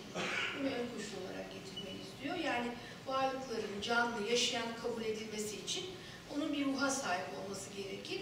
E, insanı diğer yaşayanlardan ayır, ayıransa akılsal ruha sahip olmasıdır diyor. E, Thomas tüm varlıklarda olduğu gibi ruhta da varlık düzeyleri koyuyor. E, tek bir bütünsel ruh vardır ama ondan aldıkları pay oranında farklı belirlenimler vardır diyor. Örneğin ruh bu belirlenimlerinden birinin yardımıyla düşünürken işte bir diğeriyle hareket eder, bir diğeriyle arzular. E, bu şekilde e, kısımları vardır diyor. E, ona göre ruh bir bütüne hizmet eder. E, kısmi yetilerle birlikte toplam bir yetiye sahip olması anlamında bir bütünlük. E, o zaman ruhlar nasıl bir bireyleşir diye soruyoruz. Thomas'a göre ruhlar kendisine katıldıkları bedenler yoluyla bireyleşir. Ne demiştik? Her şey Tanrı'dan çıkar. Ve ona bir şey eksik, eksiltmez demişti. E, bilinci Tanrı'ya yüklemişti. Evrenseller Tanrı'nın zihninde içkindir. Yani şeyleri önceler yani anteremdir demişti. Orada kalmıştık. O, kesim universale anterem işte. Yani evrenseller şeyden öncedir diyordu. Ee, ki bu evrenseller yani tümeller meselesi aynı zamanda bir nesnenin var olup olmadığını saptayacak olan düşüncelerimizin kalıpları zaten. Ee, bu kalıplar nitelikleri farklı olmak kaydıyla Aristoteles'te organon yani kategoriler diye söylenmişti. E, Platon'da ise idealar e, diye söylenmişti. Kantçı düşünce tarzıyla düşünmemizin yetileri, bilincimizin olmazsa olmaz yetileridirler. E, bunları tartışıyorlar ve diyorlardı ki biz bunu doğuştan mı taşıyoruz? Yani a priori olarak varoluşumuzda, bilincimizde bilme yetileri var mı? Yoksa bunlar e, sonradan mı kazanılıyor? İkinci bir grup, universalia in rebus yani evrenseller şeyin ayrılmaz özellikleri olarak kendisindedir diyor. E, Hristiyan imanına bağlı olduğu için e, zaten anterem tartışmaya açık değil. Yani gerçeklik Tanrı'nın zihnindedir öncelikle. Dolayısıyla tümeller şeyden öncedir. Thomas'a göre Tanrı'nın bilişsel eylemi onun özü olduğu için e, onun özünde olan her şeyi bilmesi gerekir. E, bu öz varlığın ilk ve evrensel ilkesi ve tüm şeylerin asıl kaynağı olması nedeniyle de aslında herhangi bir durumda olan her şeyi kendinde içerir. Dolayısıyla tanrısal akıl bizimkilerin aksine bilgisini şeylerden toplamaz, e, aksine bilgisiyle şeylerin nedenidir. E, yani onun şeyleri bilmesi pratik bilgidir yani. Kendi yapar, kendi bilir diyor. E, Tanrı'daki bilişsel fakülte insandakinden daha yüksek tabii ki dolayısıyla. İnsan diyor ne bilirse e, anlayış, hayal gücü, e, duyu fakülteleri gibi çeşitli fakültelerle bilir. Tanrı ise tek bir yalın serisiyle her şeyden haberdardır diyor. E, bu biliş bir e, ereksellik yüksel yüklenmiş demiştik, yüklenmiş olarak üzerine doğru eğilim göstermesi açısından da evrendedir. Yani in rebus'tur diyor. O istem onun içinde vardır e, ve bu bir ereğe doğru gitmektedir ve bu erek de şeyden sonraki bilinç olarak da insandadır, postremdir yani diyor. Thomas bir ayrım koyuyor, bu önemli. Evet şeylerin rebustur, e, yani evrenseller şeydedir, nesnededir, bu doğrudur ancak bunlar bilginin araçlarıdır diyor. Nesneyi nasıl biliriz? E, bunlarla biliriz diyor. Bu arada e, bunun için e, ilk bilgi e, duyumsamadır diyor nesneleri bilmek için. E, bu diyor salt ruha benzer yapısıyla zihnin e, ve ruh ve bedenle birliğin sonucu olan duyumsamanın birlikteliğiyle yapılır. E, zihinsel bilgimizin kaynağı olan bireyler yani onların e, zihindeki temsilleri ancak bu şekilde algılanır diyor. Thomas zihinsel temsil dediğinde bu arada e, bireysel e, bir zihinde var olan ya da yansıyan herhangi bir sembolik belirteci e, ve bunun o zihindeki semantik yani anlamsal bir içeriğe sahip olmasını kastediyor. Yani e, zihinsel temsil zihinden daha fazlasını söylüyor Thomas'ta. İmge ve nesnenin ismini ifade eden e, harflerin dışında bir de interior word dediği, mana dediği bir içsel anlam olarak o anlam e, kişide var. E, bireyleri yani ayrı ayrı nesneleri ve onların formlarını düşünür olarak algılayan yine akıldır diyor. Yani ım, aklı önce ikiye ayırıyor. Ve yine ruhun bir fakültesi olarak ruhu, akıl ve ruh farklı bir şey değildir Thomas'ta. Intellectus agens yani faal akıldır diyor düşünen. Depolayan pasif akıl vardır diyor. Possible, e, intellectus possible, possibilus galiba. Ve intellectus agens yani işleyen akıl, faal akıl, e, düşünen, hisseden akıl. Bu aktif akıllı da yine üç farklı isimle isimlendiriyor işlevlerine göre. E, bu arada e, Aquine'ye göre zihin ve akıl insanda ayrı güçler değil. E, bunlar yine varlığın düzeyleri gibi e, ve işleyiş biçimlerine göre farklılaşıyorlar. Örneğin dünyadaki e, şeyleri, e, bu şeylerin biçimsel yanlarıyla yani rasyolarıyla, e, oranlarıyla bitişik olan görünüşleri yoluyla biliyoruz. E, görünüşüyle bitişik olan oranları var. Thomas aynı rasyonu, yani bunun e, rasyolarını e, aynı rasyonun varlığın çeşitli kiplerinde farklı şekillerde var olduğunu söylüyor. Yani örneğin şeylerde cisimsel yani edimselliğe çıkmış olarak var bu rasyo. E, bizde ise zihinde e, cisimsiz yani ideası olarak var. Yani bilinenin formu e, bilende de bulunduğu için biliriz diyor. E, işte bu karşılaştırmalı bilmeyi yapan akıl tipine rasyo diyor. E, e, bu arada e, bu e, reason entellectia açıklamasını yaparken e, biraz e, tekrar olacak size çünkü ben biliyorum en azından 20 senedir e, Metin Bey, Metin Babaroğlu bize bunları sürekli ince ince e, her zaman yapar e, özellikle çevirilerden okurken. E, dolayısıyla sizin için yeni bir şey değil biliyorum ama yine de o arada e, şey kopukluk olmasın koyayım. Reason sebebe bağlı bilen akıl ki bilim yapan akıl da diyoruz buna ve entellect e, gayeye ereye e, bağlı olarak bilen akıl. Bu arada bir nesneyi bilirken o nesneye yönelirken de özne ve nesne olarak üç durumda bulunuruz diyor. Bu Aristo'dan beri gelen bir şey. Burada Agustin üçüncüsünü koyuyordu. E, İlk yönelimimiz bu nesneyi bileceğiz şimdi. Bireysel şeyleri e, aklımızın, zihnimizin dışında var oldukları gibi algılamaktır diyor ilk yönelimimiz. E, in rerum natura, doğalarında olduğu gibi. E, doğada bulundukları gibi. Ve bunun e, da bir bireyin bilincimize alındığı, yani bir nesnenin bilincimize alındığı, rasyo ile alındığı ancak henüz bilimsel düşüncemize e, yani reason'ın nesnesi olmamış haline diyoruz. Intentio prima. İkinci yönelim yani intentio secundus ise bu bireyi yani eşdeğişle nesneyi zihnimizde özüydü, ilinekleriydi diye ayırdığımızda, parçalarına ayırdığımız ve onu bilimsel e, bilgimizin nesnesi yaptığımız durumdur diyor yani reason. Agustin demişti ki burada üçüncü bir şey eksiktir, o da iradedir diyordu Agustin. Thomas da Agustin gibi düşünüyor. Evet diyor bu yönelimlerin oluşması için bir hareket ettirici neden gereklidir. Ancak bu niyettir diyor. İntensyonaliteyi koyuyor. İradedir ama niyet olarak iradedir diyor.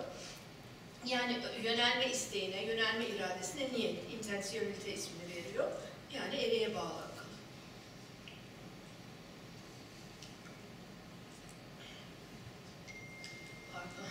Niyet kavramı, intention, intention kavramı gayeye bağlanmak. Olmamış olanı şimdi de olması için benimsemek demek. O zaman bu anlamda insan niyet varlığıdır diyor. Thomas Latince intelligere yani anlamak fiilinden türeyen intellekti, gayeye bağlı düşünmek olarak kullanıyor. E ki e, ona göre yaşamın anlamı ortalıkta yoktur. E, yani yaşamın anlamı gayeye bağlılıkla inşa ettiğimiz bu yapıdır diyor. Bu yapının kendisidir diyor. Thomas'a göre insanın zorunluluğu anlamaktır. İman anlayışı arar diyor. En e, meşhur sözlerinden birisi. E, fidem coherens intellectus. Yani tam çevirirsek e, iman gayeye bağlı aklı arar diyor. Yani insan anlamını arar bir anlamda. Gayesini arar. Evet. E, ne demişti? E, Thomas şeyler in rebustur demişti. Ama bu nesnenin bilgisidir demişti. İnsanı ele aldığımızda ise insan universalia diyor. Ne demiştik? E, Essence'yi, özü sorguluyorlar demiştik. E, bir yandan işte insan özüyle birlikte mi vardır? Doğduğu zaman özü var mıdır? Yani universalia in rebus mudur? Bunu soruyorlardı. Thomas, e, universalia in rebus özne için değildir. Onun organizması için vardır diyor, beden için. E, şey için tamam ama insan için hayır diyor. İnsan özsüz doğar. Ee, onun için insan universalia postremdir, şeyden sonradır diyor. İnsan öz olarak var değildir. İnsanın beden olarak varoluşu özünden önce gelir diyor. O zaman e, anterem, in rebus, postrem bir bütündür demiş oluyor. İlk defa bu üç modu birlikte kullanan Akinalı Thomas. E, bir bütünün görünüşleri, bir bütünün bilinçleri olarak koyuyor. Ayrıca bir tanrı, ayrıca bir evren, ayrıca bir insan değil de üçünün birliği olarak vardır diyor. Böyle olduğu zaman e, arı biçim olarak Tanrı bir bütündür ve kendinde tamdır e, işte sözüyle daha sonraki nesnelerin kendilerinin bir düzen içinde Tanrı'dan çıkmaları ama Tanrı'dan bir şey eksiltmemeleri bu arada ve insanın da ve dolayısıyla kendi eksikliğini tamamlamak üzere tamlığını aramada, ereğini aramada tekrar Tanrı'ya dönüş anlamında bir sürece sokuyor. Tekrar Tanrı'ya dönüşün de insan anlığında evrensellerin yani tamlığın bilgisiyle olabileceğini ileri sürüyor. Yani insan evrenselleri bilmekle Tanrı'nın aklına dönüş yapmıştır diyor. Tanrı'nın anlığına dönüş yapmış oluyor. Ö- ancak öte yandan e, Thomas diyor ki insan ölmeden Bir başka deyişle hayatını tamamlamadan bu bilgiye tam bir kesinlikle sahip olamaz. Ee, Tanrı'nın egemenliği evrenseller ortamındadır. O evrensellere de ancak kendi edimleriniz ile, edimlerinizle varabilirsiniz diyor Thomas. Heh, Thomas insan doğduğunda var değildir diyordu. İnsan doğduğunda yok varlıktır diyor. Ona göre insan başlangıçta yok varlık, e, insan zihni tabula rasa bu kavramı e, başka bir biçimde ilk Aristoteles kullanıyor bu arada. Ruh üzerine de Anima adlı kitabında e, diyor ki düşündüğümüzde zihin ilkin e, gramateion gibidir. Gramateion dediği üzerine henüz yazı yazılmamış yazma tableti demektir. Sonra üzerine karakterler üzerinde belirir yani zihin önce boştur. Daha sonra e, bu kitap e, direkt Yunanca'dan Latince'ye çevrilirken e, Thomas'ın hocası ünlü Dominiken e, keşiş ve ho- büyük hoca Albertus Magnus çeviriyor bunu ve bu terimi tabula rasa olarak çeviriyor. Tam çevirisi kazıyarak temizlenmiş levha demek. E, Thomas da bunu kullanıyor. O da Aristo gibi zihnin ilkin e, boş bir tablet gibi olduğunu ancak şeyleri bilinir yapabilir, bilinebilir yapacak olan aklın kuvvet olarak söylüyor. E, bu insanın özünün sonradan oluşması savı, e, yok varlık olması, e, onun elektrimsel bir varlık olmasını getiriyor. Dolayısıyla insanın var değil ama var olma olanağı var olarak var olan bir varlık olduğu önermesiyle Thomas insan belli bir ereğe bağlı, belli bir niyet e, olarak o ereği kendinde taşıyan e, varlık olarak kendisini nasıl inşa ediyorsa öyledir ve biriciktir diyor.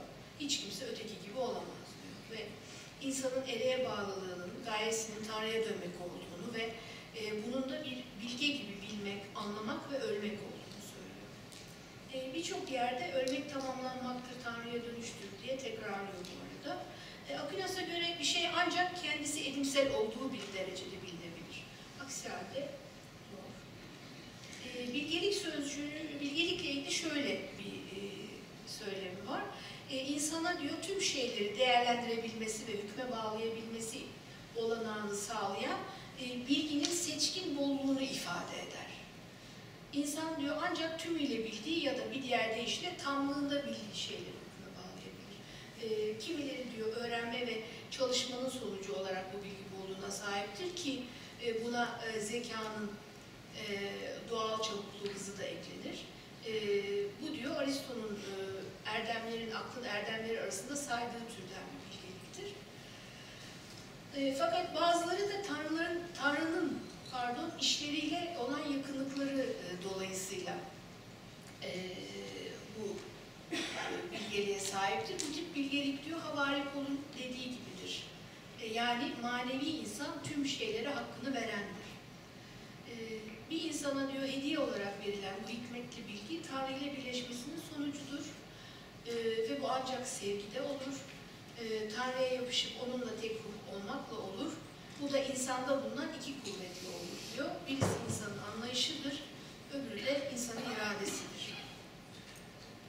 E, ilahi üçlü birliğin e, bir benzerliği insanın aklında gözlemlenebilir diyor. Enteresan bir şey var. Bu akıl diyor aslında kendisini anlayarak yani logosu, kelamı kendi içinde kavrar ve bu kelam entelektüel ifadeden başka bir şey değildir diyor. E, yani gayesini bilen aklı dışa vurum entelektüel ifade diyebiliriz. Yani hangi akılda bu dışa vurum diye soruyor kendisi e, ve cevabını veriyor. Kendini seven ve kendini sevilen bir nesne olarak iradede üreten akılda. E, bu hediyeye sahip olan insan diyor, vahyedilmiş hakikati e, tanrısal ve apaçık bir bakışla görür e, ki bu saf imandır e, ve bu insanın tutumunda, davranışında gizlidir. E, bu arada e, ölmekten bahsedince e, elbette öldükten sonra ruhun ölmediğine inanıyoruz, inanıyor. E, bireysel ruhlarımız olduğuna inanıyor Thomas. Daha doğrusu bireysel ruhlarımızı inşa ettiğimize inanıyor. E, bireyleşim teorisinden bahsetmiştik, cisimleri nasıl bireyleştiğinden. Yani saf öz olarak madde şeylerin doğasını, şeylere doğasını veren formla birleşip cisimleşiyordu. E, Plato bu terimi insan doğasını ve bunun ancak beden ve ruh birliği ile mümkün olabileceğini anlatmak için kullanmıştı ve bu e, anthropological işte hilomorfizm e, deniyor buna. Hile e, biliyoruz madde, morf form.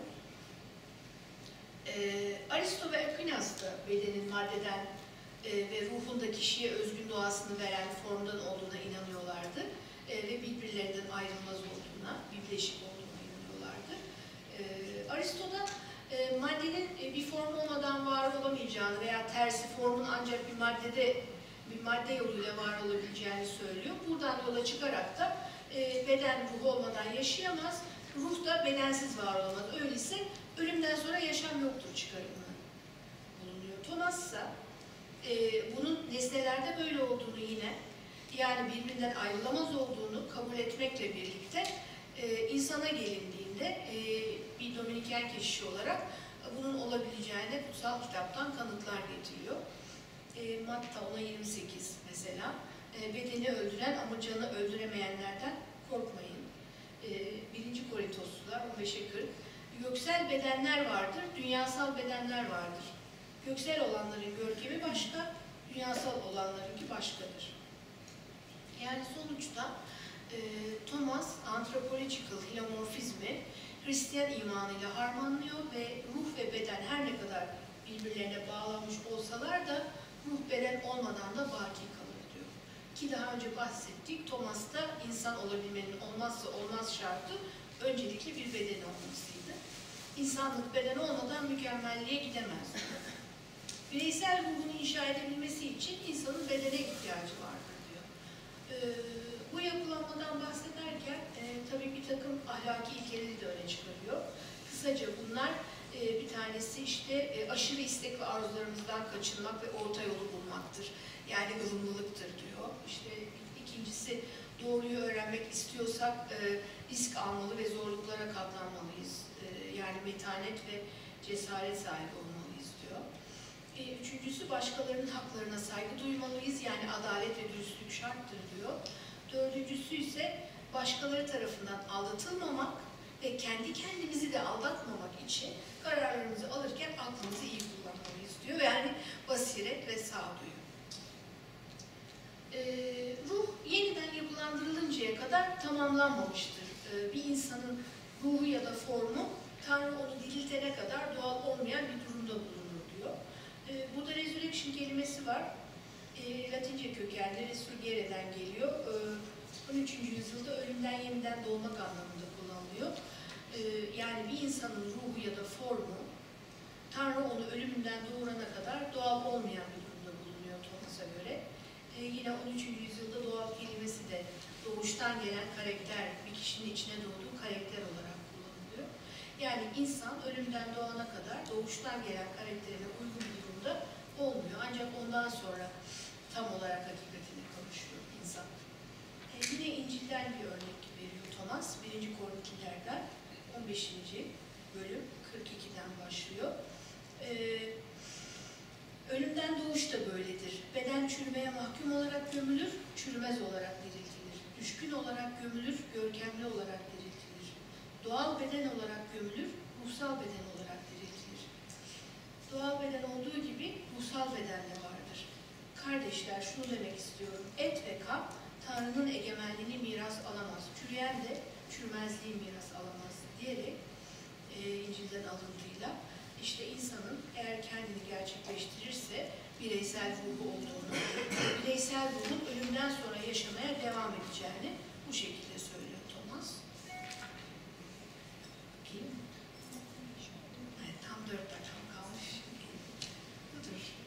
Teşekkür ederim.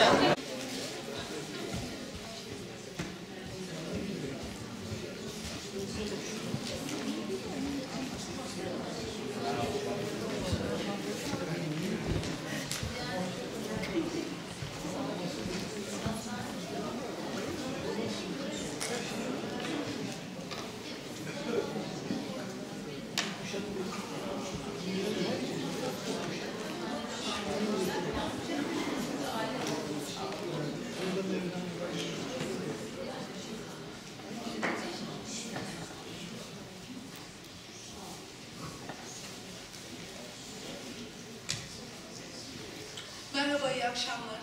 Ee, ben size sırasıyla 13. yüzyıl ikinci yarısı, 14. yüzyıl ve 15.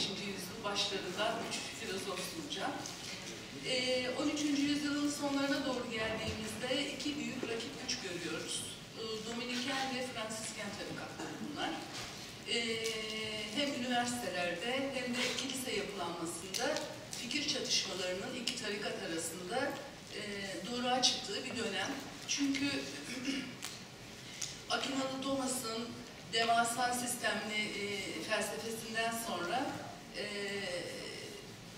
Fransiskenlerin e, sesleri biraz kısık kaldığı için e, dolayısıyla onlar da seslerini yükseltmek istiyorlar ve e, bu işi e, Don Scotus üstleniyor.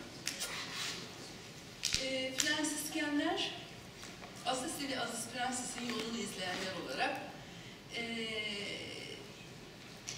aslında Dominikenlerden ayırt edici e, net teorik e, şey bakış açılarını belirlemek biraz zor olmasına rağmen indirgeyerek baktığımız zaman e, şu ayrımı koyabiliyoruz. E, Fransiskenler Aziz Fransis'in yaşamına dayalı, e, daha çok kişisel adanmaya dayalı, pratik bir din anlayışına sahipler. E, ve İsa'nın yaşamını e, kendilerine örnekliyorlar ve e, fakirliği önemsiyorlar. E, Dominikenleri de Hristiyan inancını kuramsal ve anlaşılmaz kıldığı için eleştiriyorlar. E, İsa'nın yaşamı ve sevgisi İsa'nın teorik öğretisinden çok daha önemli onlar için. E, ve iradeyi akla önceleyen ortak bir anlayış var Fransiskenlerde. Ee, bir başka ortak savunuları da Meryem'in masumiyeti. Yani asli günahtan arınmış gebeliği. Ee, Don Scotus da dediğim gibi biraz önce bir Fransisken. Ee, Don Scotus'un eserlerinin büyük kısmı Oxford ve Paris başta olmak üzere pek çok yerde yürüttüğü öğretim faaliyetlerinin ürünü. Dolayısıyla sistematik bir çalışma yapmamış. Anselm'den Bonaventura'ya, Akinas'tan Gentileri'ye, ibn Sina'ya kadar pek çok düşünürün görüşlerini onun argümanlarında görmek mümkün. İbn Rüşdü ve İbn Sina'yı çok iyi araştırmış, incelemiş gibi. Ve İbn Sina'nın pek çok düşüncesine de katılıyor ve ondan alıntılarla kendi düşüncelerini destekliyor. Ee,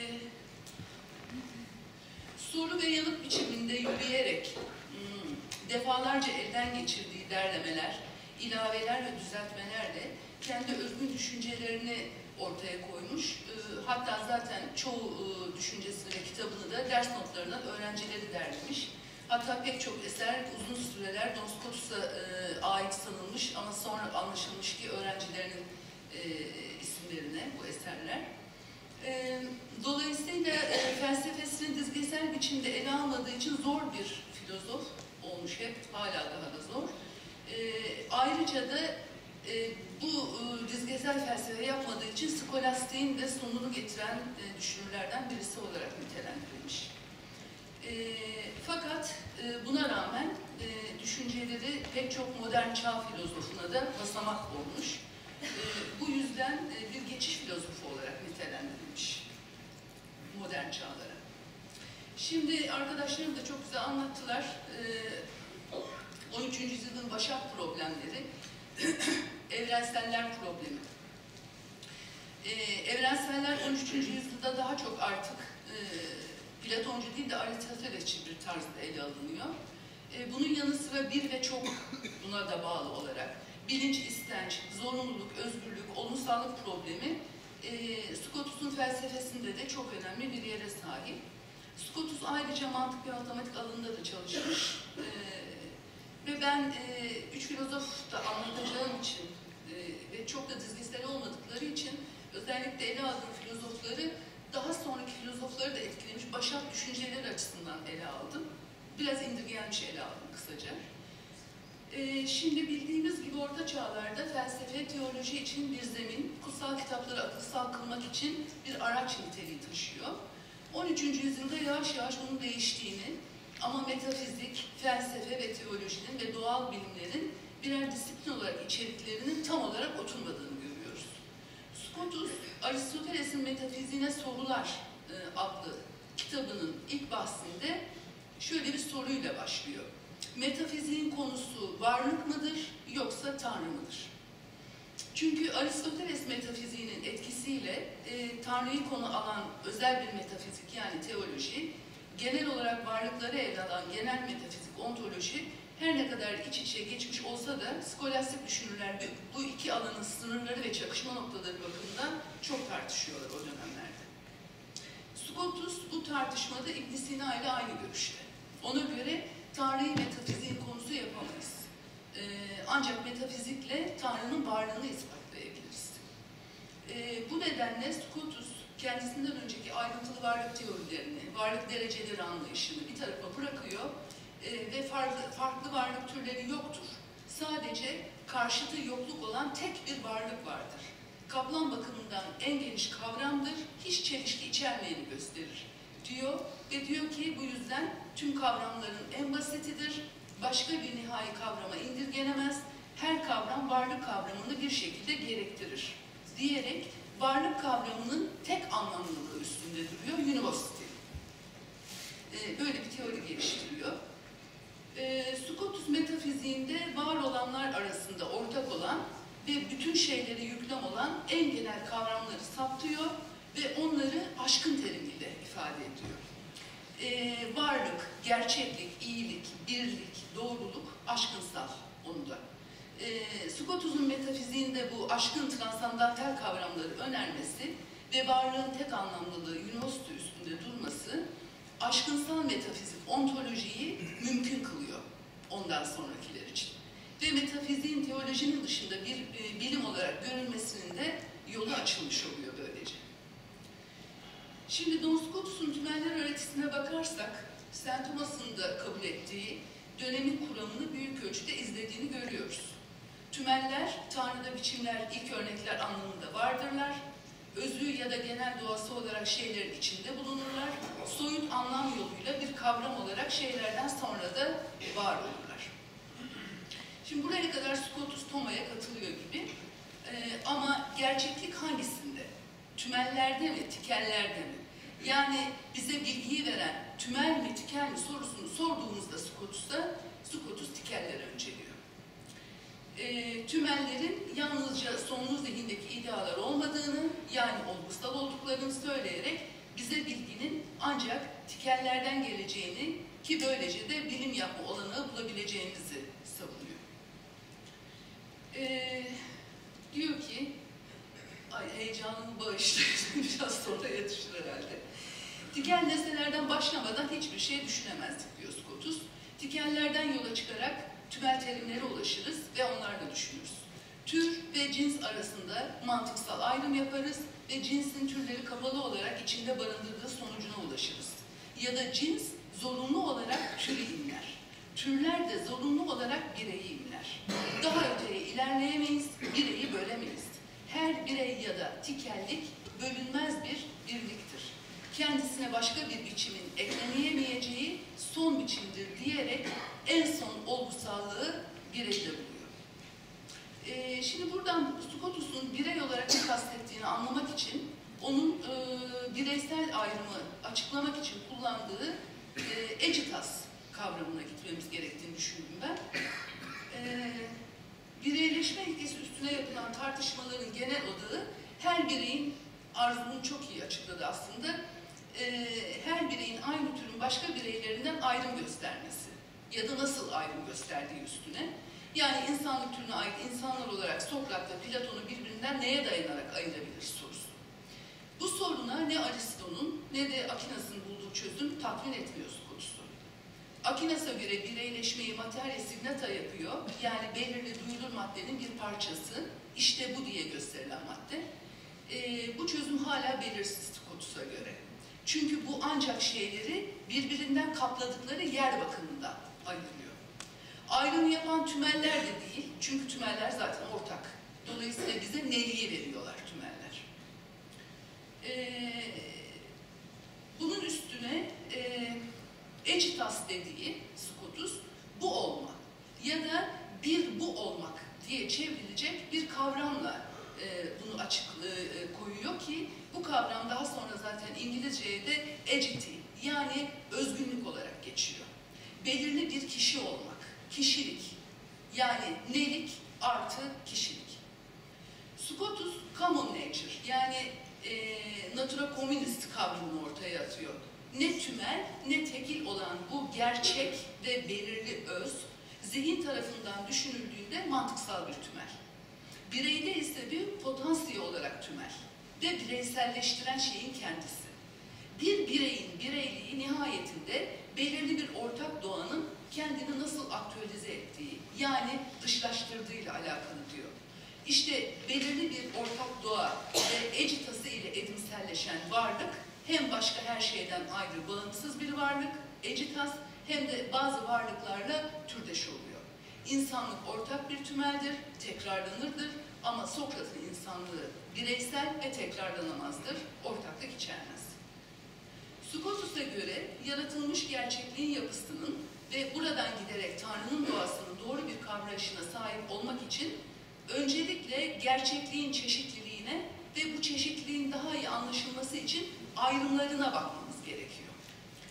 Ee, bu ayrımları Scotus formalities diyor. Öncelikle gerçek ayrım yapıyor. Yani ne demek?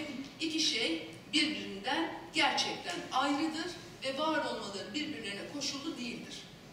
Ancak Tanrı ve yaratılmışlar gerçekten ayrıdır ve Tanrı'nın varlığı koşullu değildir ama her varoluş varlığını Tanrı'ya koşulludur. İkinci ayrımı kavramsal ayrım. Bu ayrım aklın etkinliğinden kaynaklanır ve şeyin kendisinde herhangi bir ayrımı işaret etmez. Aksine bizim aklımız gerçekte aynı olanın farklı anlayışlarını yaratır. Buna bütün literatür tek bir örnek göstermiş. Ben de ona sadık kalmak için bu örneği vereceğim size. Örneğin deniyor, sabah yıldızlı e, diye bir şey görürüz sabah kalktığımızda. E, bir de akşam bir yıldız görürüz. Birine sabah yıldızı deriz, birine akşam yıldızı deriz. İkisinin terimleri farklıdır. Bizde yarattığı duygulanım farklıdır. Fakat aslında ikisi de aynı şeydir. Yani Venüs gezegenidir. İşte kavramsal ayrımı Don Scotus'taki böyle bir ayrım. Scotus, gerçek ve kavramsal ayrım arasına gerçekliğin bir temeli olan ama gerçek ayrılık anlamına da gelmeyen, dolayısıyla kavramsal bir ayrım da olmayan bir ayrım yapma ihtiyacı taşıyor. Ee, örneğin her tekil ya da bireysel varlıkta birçok gerçek görünüş yani formalitizler vardır diyor. Bu gerçek görünüşler ne ayrıdırlar ama ne de aynıdırlar. Ee, zira ayrılıkları takdirde tekili oluşturamazlar. Bu ayrımı anlaşılır kılmak üzere Scotus yeni bir terim öneriyor. Aparta rei. Şeyi bilen aklın yapısından değil, şeyin yapısından kaynaklanan tümeller. Ee, bu onda common nature ile birlikte e, ve eçtasla birlikte bu ayrıma da formal ayrım diyor. Ee, bir de model ayrımı var yaptığı. Bu da şöyle, bireydeki yetkinliklerin veya özelliklerin miktarına, yoğunluğuna yani kendiliklerin içsel notlarına göre de bir ayrım yapıyor. Diyor ki her bireyde e, kişilik, yani her kişilikte örneğin cesaret aynı şekilde edimselleşmez. Dereceli olarak herkes de farklı edimselleşir. Ya da her cisimde kırmızılık aynı oranda değildir. Farklı derecelerde aktualize olur diyor. E, dolayısıyla sahip oldukları karakteri veya özelliği farklı derecede veya yoğunlukta sergilerler. Bu bakımdan da birbirlerinden ayrılırlar diyor. Buna da model ayrım diyor. E, Scotus'un formel ayrımı e, önermesinin pek çok nedeni var. O hem iradeyi akla öncü tutmasının yarattığı sorunları, yani akıldan yoksun bir irade olabilir mi gibi, hem ortak doğa ve ecitas arasındaki, hem simple, basit, yalın tanrı anlayışıyla ilahi niteliklerin çokluğunu, kutsal üçleme ve birbirleri arasındaki ayrımı hem bir ve hem e, ayrı olmanın yarattığı sorunları bu formel ayrımla çözüyor. E, örneğin bunu irade ve akıl üzerinden şöyle dile getiriyor. E, diyor ki irade ve akıl gerçekte aynıdırlar. Çünkü her biri ruhla özdeştir ve birbirinden ayrılamaz. Ancak irade özgür bir güç olması bakımından yani edimselliği bakımından akıldan ayrıdır. Scotus Hem bu ayrımlar teorisi, formalitis, hem de ecitas, bu olma kavramlarını felsefeye katıyor ve bireyi ama aynı zamanda özgün bir bireyi. Ee, ki buna belki daha doğru deyişle karakter yüklenmiş kişilik diyebiliriz, biriciklik, fert diyebiliriz. Kendine özgü bir yolla tanıtlamaya çalışıyor bütün bu kavramlarla. Ee, Scotus'un en son olgusallık olarak gerçekliği bu kişi, Egitas'ı, karakterinin biricikliğiyle örnekleyen içkin bir evrensellik, yani aşkınlığı gerçekliğe taşıyan olarak İsa'dır, Logos'tur. Egitas hem modern felsefede pek çok filozofun ilgisini çekiyor, hem de ardıllarıyla birlikte skolastikler içinde bir kırılma noktası oluyor. Ee, ve buradan yola çıkarak biz e, şöyle bir soru sorabiliriz Scotus'a. Madem ki birey varlığın sonsal gerçekliği, bir tekilin bireyliği ortak doğanın ve Egitas'ın kendini nasıl edimsel kıldığıyla alakalı, o zaman birey edimselliğini neye borçlu? Ee, bu soruya Scotus irade diye cevap veriyor. İrade, iki ya da çoklu şeyler arasında bir yönelim olarak seçmek olduğu için seçmeyi hareket ettirici prensip olarak iradenin kaynağına koyuyor Scotus. Bu nedenle de irade bütün pratik edimlerin hareket ettirici ilkesi haline geliyor onda. Akıl doğal bir güçtür ve doğal güç olmaklıkla ortaktır. İrade ise özgür, özgür bir güçtür ve özgür olmaklıkla ortaktır diyor. Ona göre akıl ve irade insanda mutlak anlamda kopmayan bir bağla birbirine bağlı, ortak deneyimde bulunuyorlar ama aklın olması için salık verdiği bir konuda iradenin hayır diyebilmesi ve bu hayırı da edimsel kılabilme kudreti onu edimsellik için başat bir neden haline getiriyor. Scott şöyle diyor, bir nesneyi istemek için onu bilmemiz gerektiği ve bu nesnede fark ettiğimiz iyilik nedeniyle onu istediğimiz doğrudur. Fakat şu da doğrudur, başka bir nesneyi değil de bu nesneyi bilmemiz onu istememizden kaynaklanmaktadır. Fikirlerimiz bizi belirlemektedir. Fakat ilk önce biz fikirlerimizi seçmek suretiyle belirleriz. Bir nesne hakkında sahip olduğumuz bilgi, karşı konmaz bir biçimde edimde bulunmaya ilişkin bir karara neden oluyormuş gibi görünse de, bu bilgiyi ilk isteyen veya kabul eden iradedir. Sonrasında da verilen kararın bütün sorumluluğunu taşıyan odur. İradenin tabiatında özgürlük vardır. Örneğin Tanrı doğal olarak günah işleme yeteneği bulunmayan bir irade yaratmaz. Günah kötü bir şeyi irade etmek, gerçekleştirmek anlamına gelir. Halbuki kötü bir şeyi düşünmek zorunlu olarak kişiyi günaha sevk etmez. Scotus'a göre insanın özgürlüğü mutlak bir özgürlüktür. İnsan libertas innata yani doğuştan özgürdür. Farklı seçenekler karşısında tercih hakkını kullanma gücüne sahiptir. Seçmeden sonra amacına ulaşmak için özgür olarak eylemde bulunur ve insanı bu eylem sorumlu kılar. Bundan sonra Scotus insanın özgür iradesinin ereğini açıklar. Sevgi ile irade arasında sıkı bağ vurgu yapar ve iradenin sevginin yer aldığı alanda kudret kazandığını söyler. E, çünkü Tanrı mükemmel bir sevgili olarak sevdikleri tarafından sevilmeyi de irade etmiştir. Eğer özgür iradesiyle insan da bu sevgiye bağlanırsa bu ona mutluluk ve hoşnutluğun kapısını açar der. Tanrı'nın rızası için Tanrı'yı sevme ediminden başka hiçbir edim nesnesi dolayısıyla iyi değildir. Tanrısal irade iyiliğin nedenidir.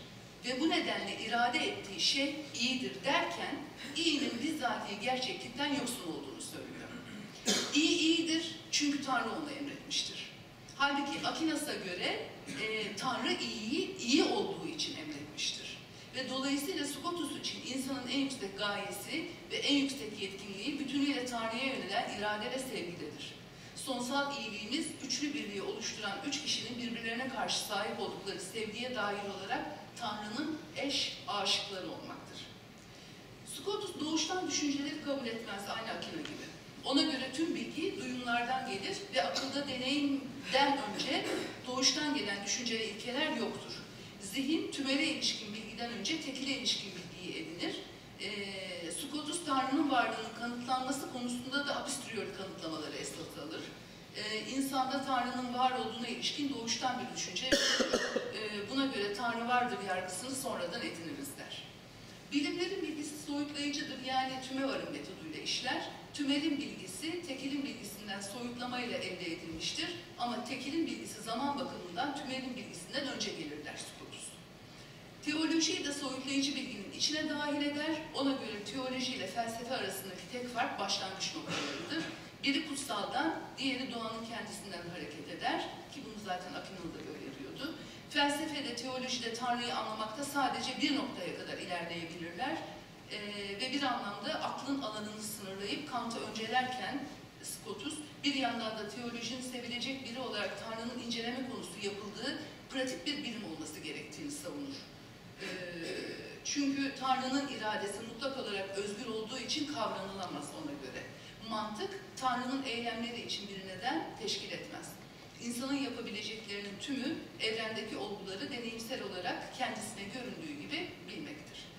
Tanrı'nın yaratırken zorunluluk altında olmadığı görüşü zaten bütün skolastiklerde genel bir yaygın bir kanı. Çünkü e, diğer türlü zaten Tanrı'yı zor, e, zorunluluk altında belirlemiş oluyoruz.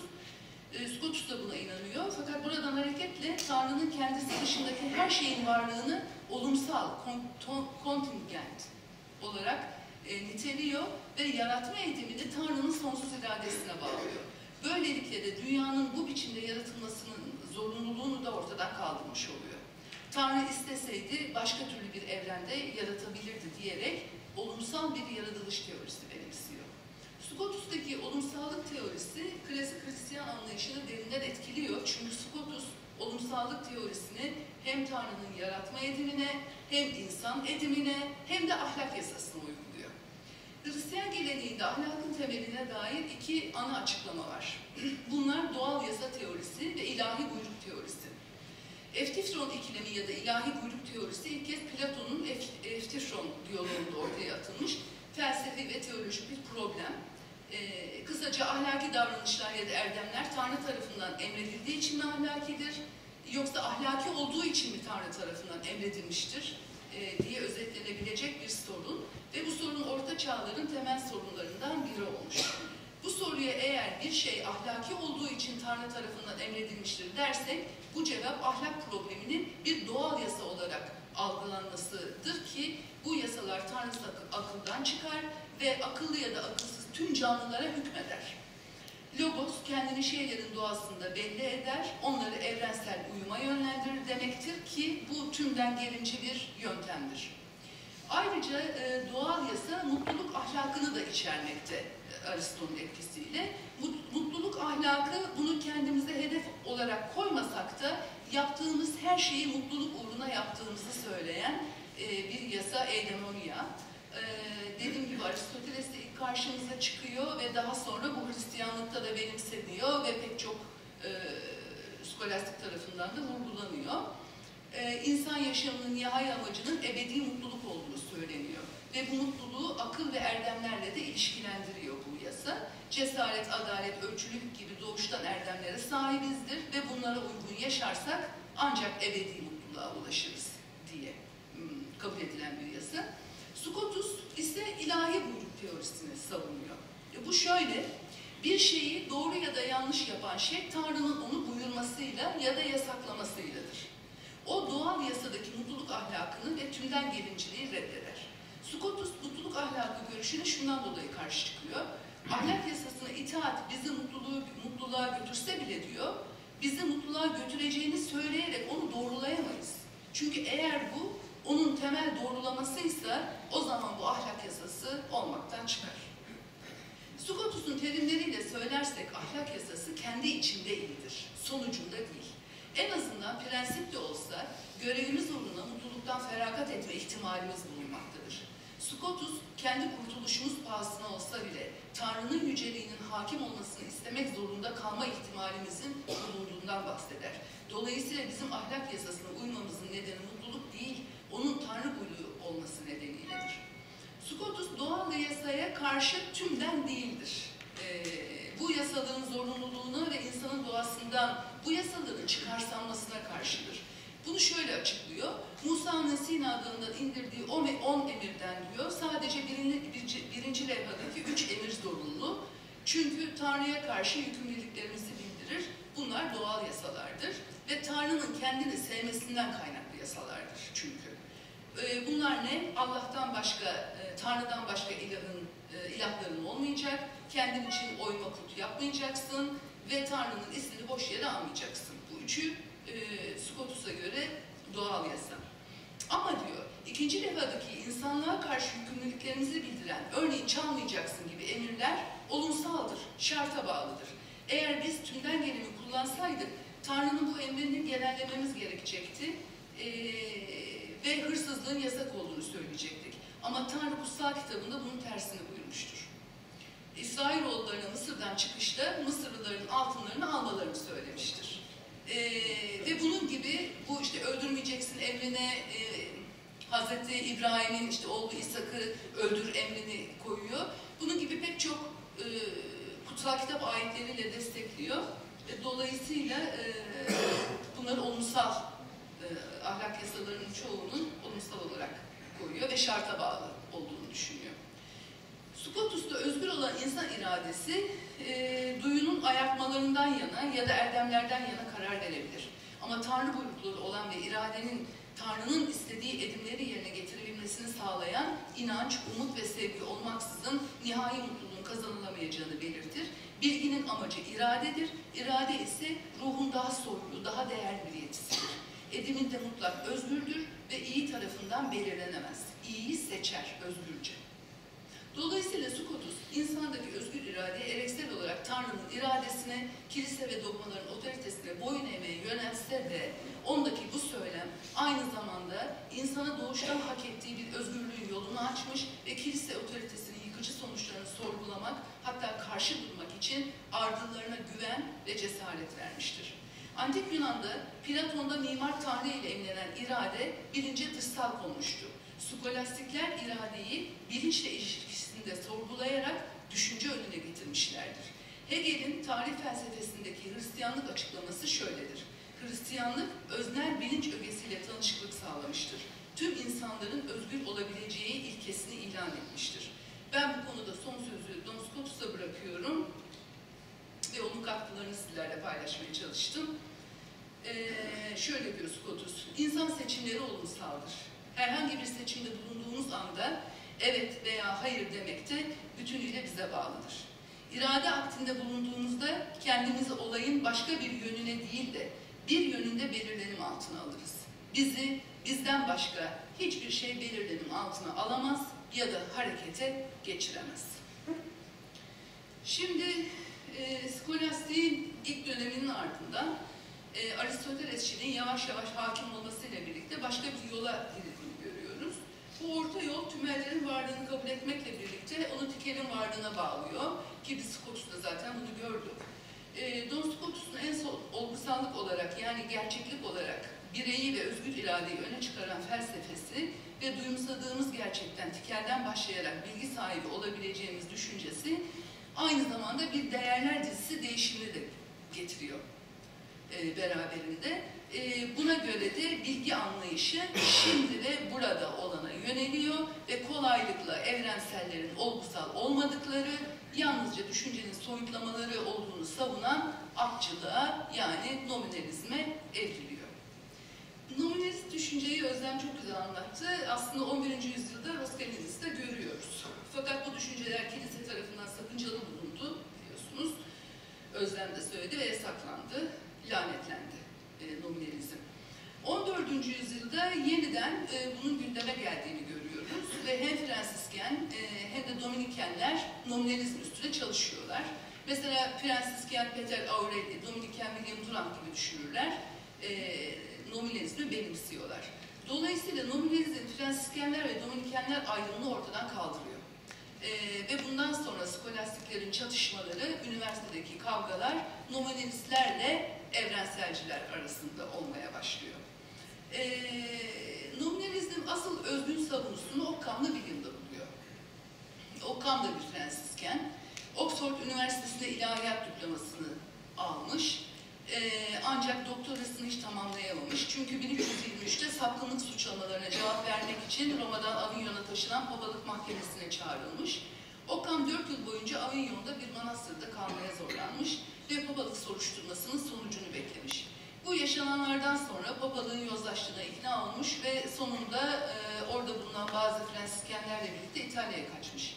Orada Papa'ya karşı iktidar mücadelesi veren Baviera Louis'i desteklemiş. Sonradan Baviera Louis imparator ilan edilecek Papa tarafından. İtalya'da kısa ve başarısız bir kampanya yürütmüşler ve sonra tekrar Münih'e gelmişler. Occam da onlarla dönüyor ve burada tam 20 yılını papalığa karşı yürüttüğü mücadelesine adıyor. Ee, ve büyük olasılıkla da çok genç bir yaşta vebadan öldüğü sanılıyor. Ee, Papa 12. John, e, Fransisken tarikatının yoksulluk doktrininin belli mülklere sahip olmayı reddederek sadece onların kullanım haklarına sahip olması gerektiği inancını kınayan bir açıklama yapınca Occam'da Papa'nın tezini inceleyerek özel mülkiyetin hem felsefi hem teolojik açıdan doğal bir hak olduğunu fakat insanın bu haktan feragat edip başlangıçtaki masumiyetine geri dönebileceğini söyleyerek e, onu sözde Papa olarak ilan ediyor. E, ve aynı dönemlerde dünyevi iktidarın papalığa itaat etmesi gerektiğini söyleyen tek kutsal adlı bir ferman da yayınlanıyor. Ve buradaki teokratik anlayışın da karşısında duruyor Occamlı ve İsa'nın yasasının özgürlük yasası olduğu inancından yola çıkarak papalığın ne siyasal ne ruhani alanda mutlak güç sahibi e, olduğunu, papalığın iktidarının hakimiyet değil hizmet olması gerektiğini savunuyor. Akademik kariyerinin dolayısıyla asla geri dönemiyor. Fakat meslektaşları tarafından çok e, saygıyla anılıyor. Dolayısıyla ona venerable inceptör yani saygıdeğer acemi lakabını takıyorlar. Occam'ın nominalizmi ve siyasal yönelişleri kiliseyi dünyaya bağlayan bağı koparmak anlamına geliyor. O kilisenin evrenselci tutumuna karşı. Bu aynı zamanda skolastiğin de sonu demek. Çünkü nominalizmin yükselişi skolastiği meydana getiren akıl ve iman arasındaki birliği de tehlikeye atıyor maalesef. Nominalistler Tanrı ve vahiyler hakkında hiçbir şey bilemeyeceğimizi ve bunların ancak inanç konusu olduğunu söyleyerek skolastiklerin Tanrı inancını akılsal kılan tüm teorilerini şüpheli hale sokuyorlar. Noministler, noministlerde inanç tamamen akıldan ayrılıyor. Bu tartışmaların izlediği seyir aynı zamanda teolojik tartışmalara ve bilgi problemine de yeni bir boyut kazandırıyor. Nominalizmin ortaya çıkışı ile papalığın kudretinin çöküşü aynı dönemlere rastlıyor. Occam'ın doktrinleri 14. ve 15. yüzyıllarda üniversiteleri gerçek bir savaş alanına çeviren ancak Rönesans ve reformla durdurulacak olan realistlerle nominalistlerin kavgalarının başlangıcı oluyor. Ve görüyoruz ki Occam'ın yaşamı ve duruşu onun felsefesinin de bir göstergesi. Şimdi e, nominalizm kelimesi aslında arkadaşlarım da söyledi, nomina at anlamına geliyor. E, ve onlara göre varoluşlardaki ortak nitelikleri açıklamak için tümeller, evrensellerin varlıkları zorunlu değil, var olan tek şey tikenler ve onları temsil eden kelimeler. Dolayısıyla bir tümel sadece dilde bir isimden ibaret. Occam'ın nominalizmi ise bazen kavramsal nominalizm denilen, daha özel bir nominalizm türü olarak kabul görüyor. Bazen de terimsel nominalizm deniyor buna. Ee, bu kavramsal nominalizm, tümellerin sadece zihinde var olabileceklerini ileri sürüyorlar. Onlar ne sadece bir isimdir, ne de sadece bir imge. Onlara göre tümeller şeyler arasındaki gerçek gerçek benzerlikleri ve ayrımları algıladığımızda zihinlerimizde ortaya çıkan kavramlardır. Tabii buradaki kavramın içeriği algılarımız. Bunu unutmamak lazım. Ee, Occam, e, Query Betal Questions'ında şöyle diyor. Tümel ruhun dışında olan bir şey değildir. Açıktır ki tümel hiçbir şey değildir de denemez. Bu nedenle o, ruhta olan bir şeydir fakat bir obje olarak değil, onun üzerine kanıtlanmış olarak var olur.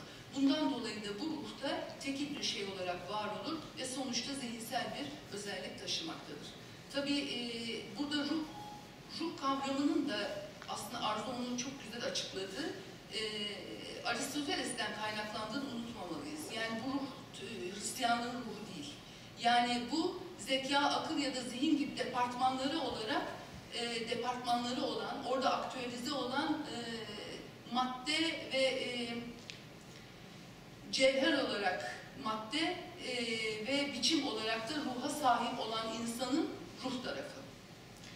Dil ve dilin düşünme ve var olanla ne türde ilişkileri olduğunu da araştıran e, Occam'lı William'da mantık, mantığın işleyişi ve bilginin neliği başat konular olarak ele alınıyor. Mantık doğru düşünmenin kurallarıdır. Hangi alanda bilgi edinilecekse edinilsin, doğru düşünmenin kuralları bilinmedikçe başarı elde edilemez. Mantıkta Aristoteles'in yolunu izleyen Occam'ın mantık hakkındaki görüşleri, Aristoteles'in ve Porfiry'nin mantıksal çalışmalarına yaptığı açıklamalardan ve yorumlardan oluşuyor ve sıklıkla kendi düşüncelerini delil gösterdiği Boethius, Abelardus, ibn Sina, ibn Rüşd gibi düşünürlerden alıntılar yaparak mantığını destekliyor. Mantık bütün sanatların en kullanışlı aracıdır. Bu olmadan hiçbir bilim tam olarak bilinemez. Çünkü aleti hakkında tam bir bilgiye sahip olmayan bir tamirci gibi onu doğru bir şekilde sürekli kullanarak daha çok bilgi kazanırız. Bu nedenle mantığını sağlam ilkeler konusunda eğiten bir kişi bu sanatta büyük beceri kazanır ve doğru düşünmeyi öğrenir diyor Okamlı ve e, bütün e, çağdaşlarını da mantığı doğru kullanmamakla suçluyor. Mantık, akıl yürütmelerin yapısı, mantığın işleyişi ise akıl yürütmelerdir. Okkam, terimler üzerine adlı yazısında akıl yürütmeler önermelerden, önermeler de terimlerden oluşmaktadır demekte ve terim için Aristoteles'in tanımını kullanmaktadır. Bir önermenin kendisine ayrıştığı şeye terim denir. Terimler üzerine yazılarında şöyle devam eder Okkam. Boethius'un belirttiği gibi üç türlü söylem vardır. Yazılı, sözlü ve kavramsal. Bunun sonucunda e, e, bu sonuncu yani kavramsal olan sadece zihinde bulunur. Aynı şekilde terimlerin üç çeşidi vardır. Yazılı, sözlü, kavramsal. Yazılı terim maddesel herhangi bir şey hakkında kaydedilen bir önermenin e, bir bölümüdür ve insan gözüyle görülebilme özelliği vardır. Sesletilen terim yüksek sesle ifade edilen bir önermenin bir bölümüdür ve insan kulağıyla işitilebilme özelliği vardır. Kavramsal terim ise doğal olarak herhangi bir şeyi gösteren veya belirten ruh yönelimi, intention'ı yani izlenimidir. Bu zihinsel bir önermenin parçası olarak herhangi bir nesneyi doğal olarak imler. Neyi gösteriyorsa onun e, yerine geçer diyor. E,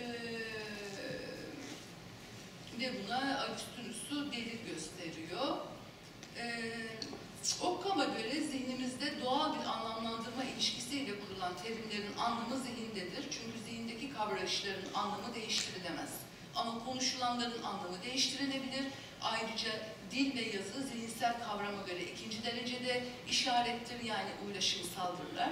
Terimler e, hem önermelerin öznesidir hem önermelere cins, tür, ayrım, özellik, ilinek gibi yüklemdir. Tümel terimi ise her tümele yüklem, her tekile karşıttır. Dolayısıyla yalnızca zihnimizdeki genellemeler, tasarımlar olarak var olan tümeller, terimler olarak mantıksal, dilsel ve bilişsel yüklemler haline gelirler ve epistemolojinin konusu olurlar. Yani e, tümeller bu haliyle e, Occam'da e, ontolojik değil, epistemolojik bir problem indirgendiği için sadece zihne. Ee, burada Occam'la yine Aristo'yu takiben insanın ruhlara sahip olduğunu söylüyor. Zihinlerimizde keşfedilecek doğuştan bilgiler yok. Bilgi ruhumuzun etkinliği yönelimi, doğal bir süreç. E, tekil olandan duyu deneyimi yoluyla edindiğimiz algılardan oluşur diyor. E, doğal bilgi edinme süreci dört aşamalı Occam'ın. İlk adım duyusal biliş, beş duyudan veri alınması. İkinci adım sezgisel biliş. Üçüncü adım e, geçmiş algıları hatırladığımız kaydedici biliş, dördüncü adım bireyleri benzer bireylerin gruplarına yerleştirdiğimiz soyut biliş. Occam'lıya göre bilginin kaynağını duyu algısı oluşturuyor demiştik. Tümel bir töz olmadığından yalnız tikel olan gerçek, ona göre hiçbir tümel töz değil. Bundan dolayı da bilginin nesnesi tikel. Öyleyse e, doğru bilgilere duyu verilerimizle e, ulaşırız. E, bu biliş sürecinde sezgisel biliş ile soyut biliş duyularımızla algıladığımız bilgiye dayanır. Sezgisel bilme biçimi bize şimdiki durumlar hakkındaki hakikatlerin bilgisini verir. Bir şeyin var olup olmadığını, çiçeğin beyazlığını sayede biliriz. Tikel'in zihnimizde akli sezgisi oluşunca ancak o zaman soyutlama yoluyla tümel bilgiyi elde etmiş oluruz. Böylece bir nesneye ait tanıma ihtiyaç duymadan onun tam bilgisine ve kavramına ulaşmış oluruz. Occam'da için sezgisel bilgi kesin bilgi anlamına geliyor. Ee, yani zihnimizdeki dış dünyadan topladığımız verilerle onlara tekabül eden gerçeklik arasında uyumsuzluk yok ona göre daha önce tecrübe ettiğimiz bir şey, daha sonraki sezgilerimizin de doğrulayıcı malzemesi olduğu için duyu algılarının zaman zaman bizi aldatmasına da böylece çözüm buluyor Kamlı. Ee, biraz hızlı gitmek çalışıyorum. Zamanımız var mı bilmiyorum. Ben tutmadım. Hmm. Ee,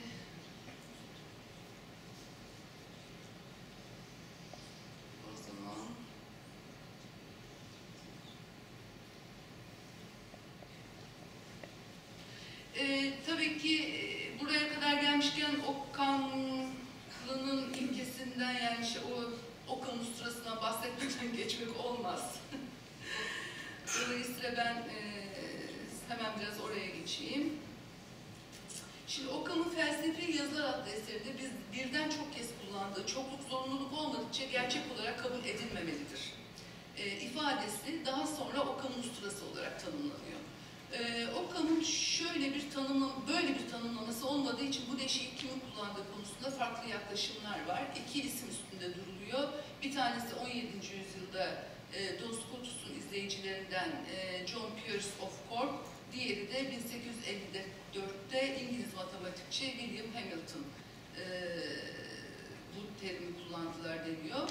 Bu genellikle tasarruf ya da basitlik ilkesi olarak tanımlanıyor. Ee, Occam'ın bu prensibi bir yöntem olarak etkili bir şekilde kullandığı söyleniyor. Ee, buna benzer argümanlar kullanılmış, hatta Thomas Aquinas kullanıyor. Ee, diyor ki varlıklar gereğinden fazla çoğaltılmamalı. Fakat bu Occam usturasıyla ikisinin arasındaki şöyle bir fark koyuyorlar.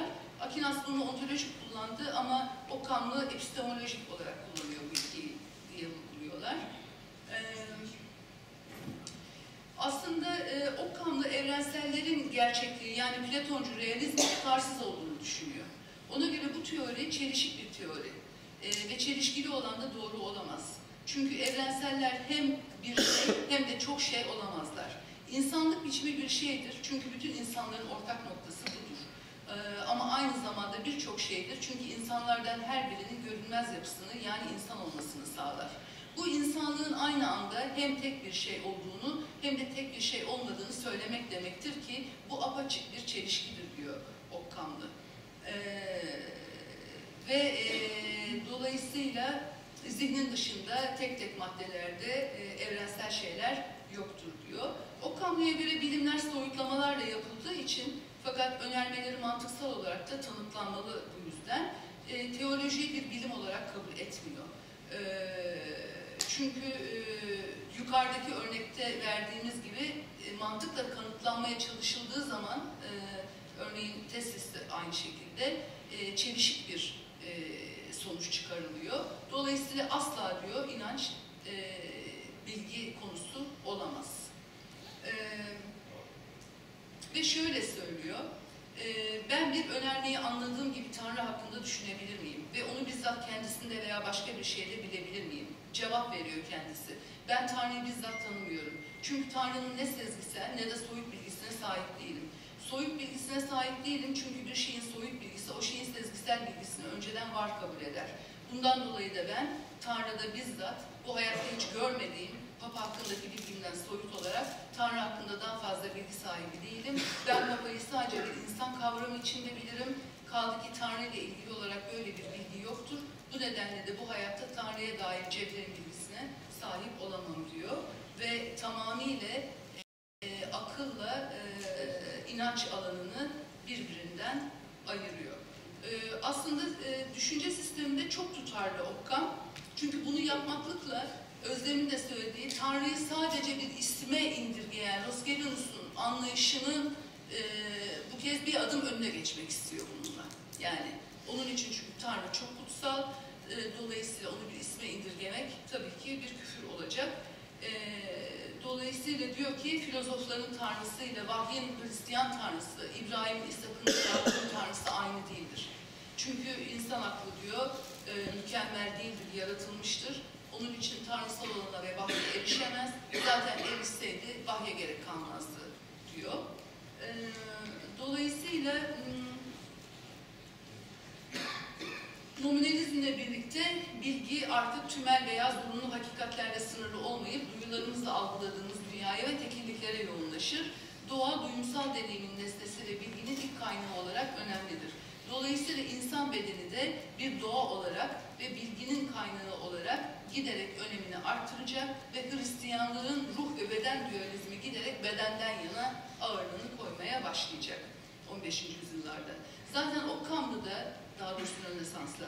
Occam'da da gördüğümüz gibi ruh da artık sadece duyusal deneyim, habitus yani alışkanlık yoluyla doğrudan kavramayı yapan akılsal bir yetiyle özdeşleştiriliyor.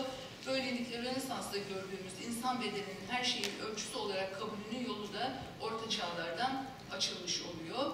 Ee,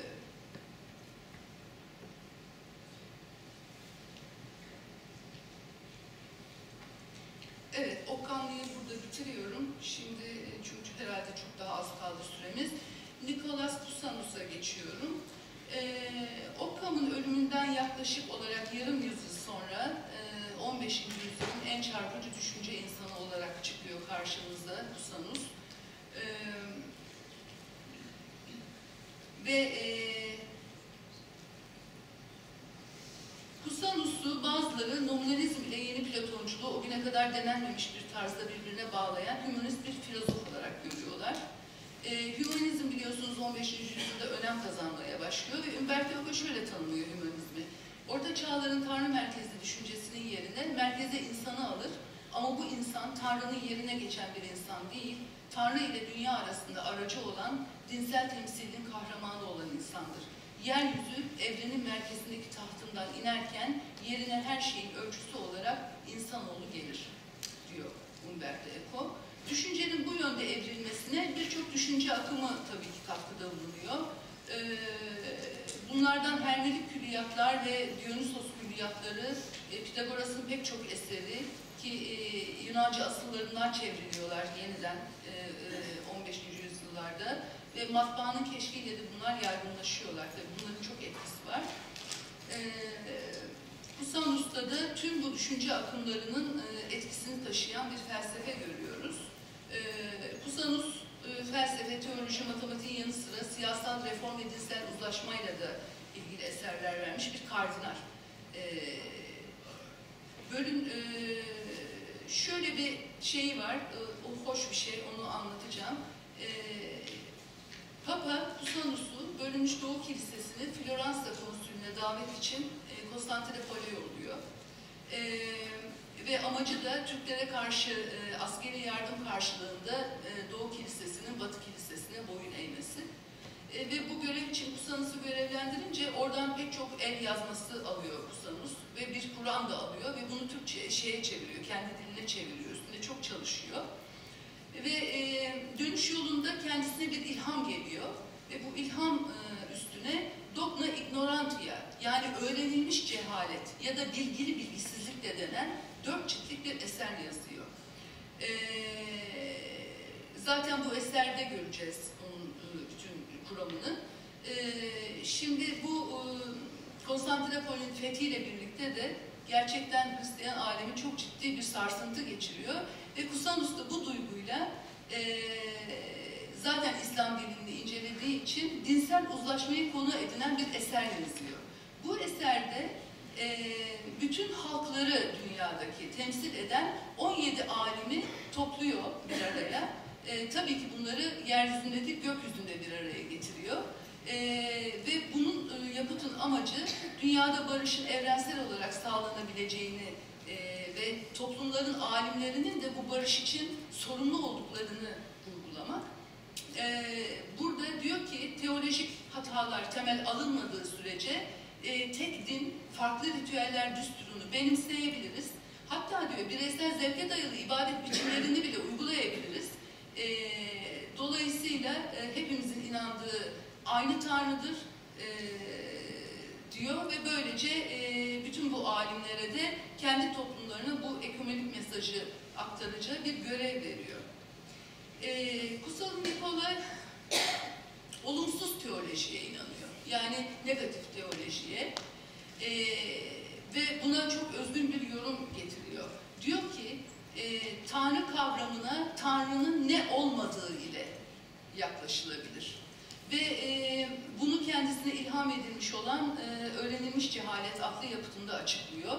Kutsal ya da öğrenilmiş cehalet bize Tanrı'nın adlandırılabilecek her şeyden daha sonsuz üstün olduğunu ve onda hakiki şekilde söz etme yolunun ancak büyük Dionysos'un dediği gibi bastırma ve reddetme olduğunu öğretmiştir diyor. Tabii ki burada kastedilen pseudo Dionysos yani Dionysos Areopagit. Ee, Kusanus e, burada geleneksel olarak Hristiyan düşüncesinde bulunan dört gerçekliği ele alıyor bu kitabında. öğrenilmiş cehalette. Tanrı, doğal evren, mesih ve insanlar. Ee, ilk kitap her şeyde olan ve her şeyin onda olduğu Tanrı'ya, ikincisi çoğulluk yoluyla birliği sınırlanmış olan evrene, üçüncüsü de aynı anda hem mutlak hem sınırlanmış olan İsa Mesih'e ayrılıyor. Ve sırası Tanrı'nın katlanarak inişini yansıtırken tersten de ona dönüşü iniyor bu dört e, ciltlik kitap. Ve gerçekliğe Neoplatonik bir Hristiyan bakış açısı getirdiği yolunda bir saptama var literatürde. Öğrenilmiş cehalet kavramının sadece bilmediklerini bildiğine inanan Sokrat'ın felsefesine dayandığını söylüyor e, Kusanus. İnsanoğlu cehaletinin öğrenilmiş olduğunu keşfetmekten daha mükemmel bir doktrini ortaya çıkartamaz diyor. E, ve ne kadar çok şey öğrenirse o kadar cahil olduğunu anlayacaktır. İnsanın bilebilecekleri sınırlıdır. E, dolayısıyla hem Tanrı'nın sonsuzluğu hem de sonlu şeylerin hakikatiyle ilgili yeterli bir kavrama gerçekleştiremez diyor. E, çünkü şöyle bir şey, şunu da söyleyeyim, dolayısıyla diyor en üst olan kavranılamaz bir şekilde mutlak olarak kavranılabilir olduğu gibi bir adı olmadan da adlandırılır. Bu yüzden de Tanrı'yı birlik, tetragrammaton, maximus terimleriyle sembolize ediyor. Ee, ontolojiyi ve epistemolojiyi tam olarak ayırmıyor, iç içe geçmiş bunlar Kusanus'ta.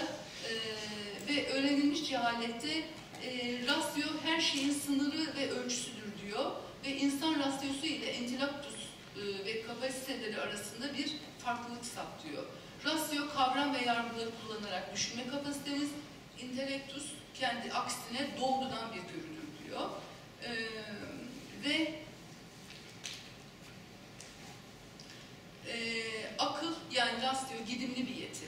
Bir nesneden öte- ötekine giderek bilgiyi elde etmeye çalışıyor ve dolayısıyla da e, ilk kuralı çelişmezlik ilkesi. Bu anlamda zaten e, Tanrı'yı e, bilebilmesi mümkün değil. E, fakat diyor e, Kustanus, sonlu bir akıl sonsuzu bilmedeki mutlak yetersizliğini kavrarsa insanda derin bir sezgiyle kavrama olanı doğurur diyor. Ee, ve insan zekası ile Tanrı'nın ruhu arasındaki niteliksel benzerliğin kavranın, kavranılmasını de bu derin sezgiye bağlıyor. İnsanın ürettiği hipotezler hakikate katkıda bulunan pozitif iddialardır, çıkarımlardır ve insan aklının bunları üretebilmesi Tanrı'nın yaratıcılığına analojik benzeşimsel bir bağ kurar diyor. Ee, diyor ki her şey Tanrı'dadır ama orada her şeyin e, örnekleri vardır. Her şey aklımızdadır ama aklımızda şeylerin benzerliği vardır. Kusanus bilme isteğinin şaşırma durumundan e, ortaya çıktığını ve hakikat arayışına neden olduğunu ileri sürüyor. Hakikati aramak gayesi eğer bilmediğimizi bilmeye ulaşırsa bu bilgece bir bilme işi olur diyor. Ve ilahi şeylerin öğrenilmesinde matematiğin çok büyük bir yardımı olacağını söylüyor. Geometrik sonsuzluğu düşünme alıştırması diyor. Hem zihnimizi ilahi olanı düşünme çabasının getirdiği paradoksa hazırlar hem de ilahi teslis olması için e, etkili bir örnek oluşturur diyor. Ve aklın e, olumsuzlama yöntemine e, hazırlanmasını bir geometrik neredeyse hani geometrileri düşünerek o sürece hazırlanabileceğini söylüyor. E, ikinci kitapta evreni ele alıyor demiştik. Burada e, Tanrı'nın sınırlı ya da sıkıştırılmış, katlanmış halinin dereceli olarak yaratılmış bir görüntüsüdür diyor evren için. E,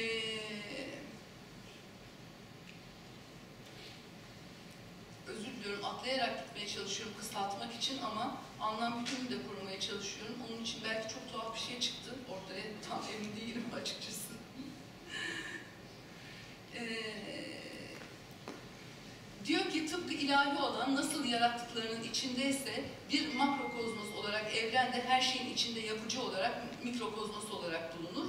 Bu şekilde her doğal şey kolektif bütünün evrenin bir görüntüsüdür. Fakat bu kolektivite birbirinden ayrı şeylerin ilişkisinden oluştuğu için evren aynı zamanda her şeyin her şeyle olan bağlantılarının bütünlüğüdür.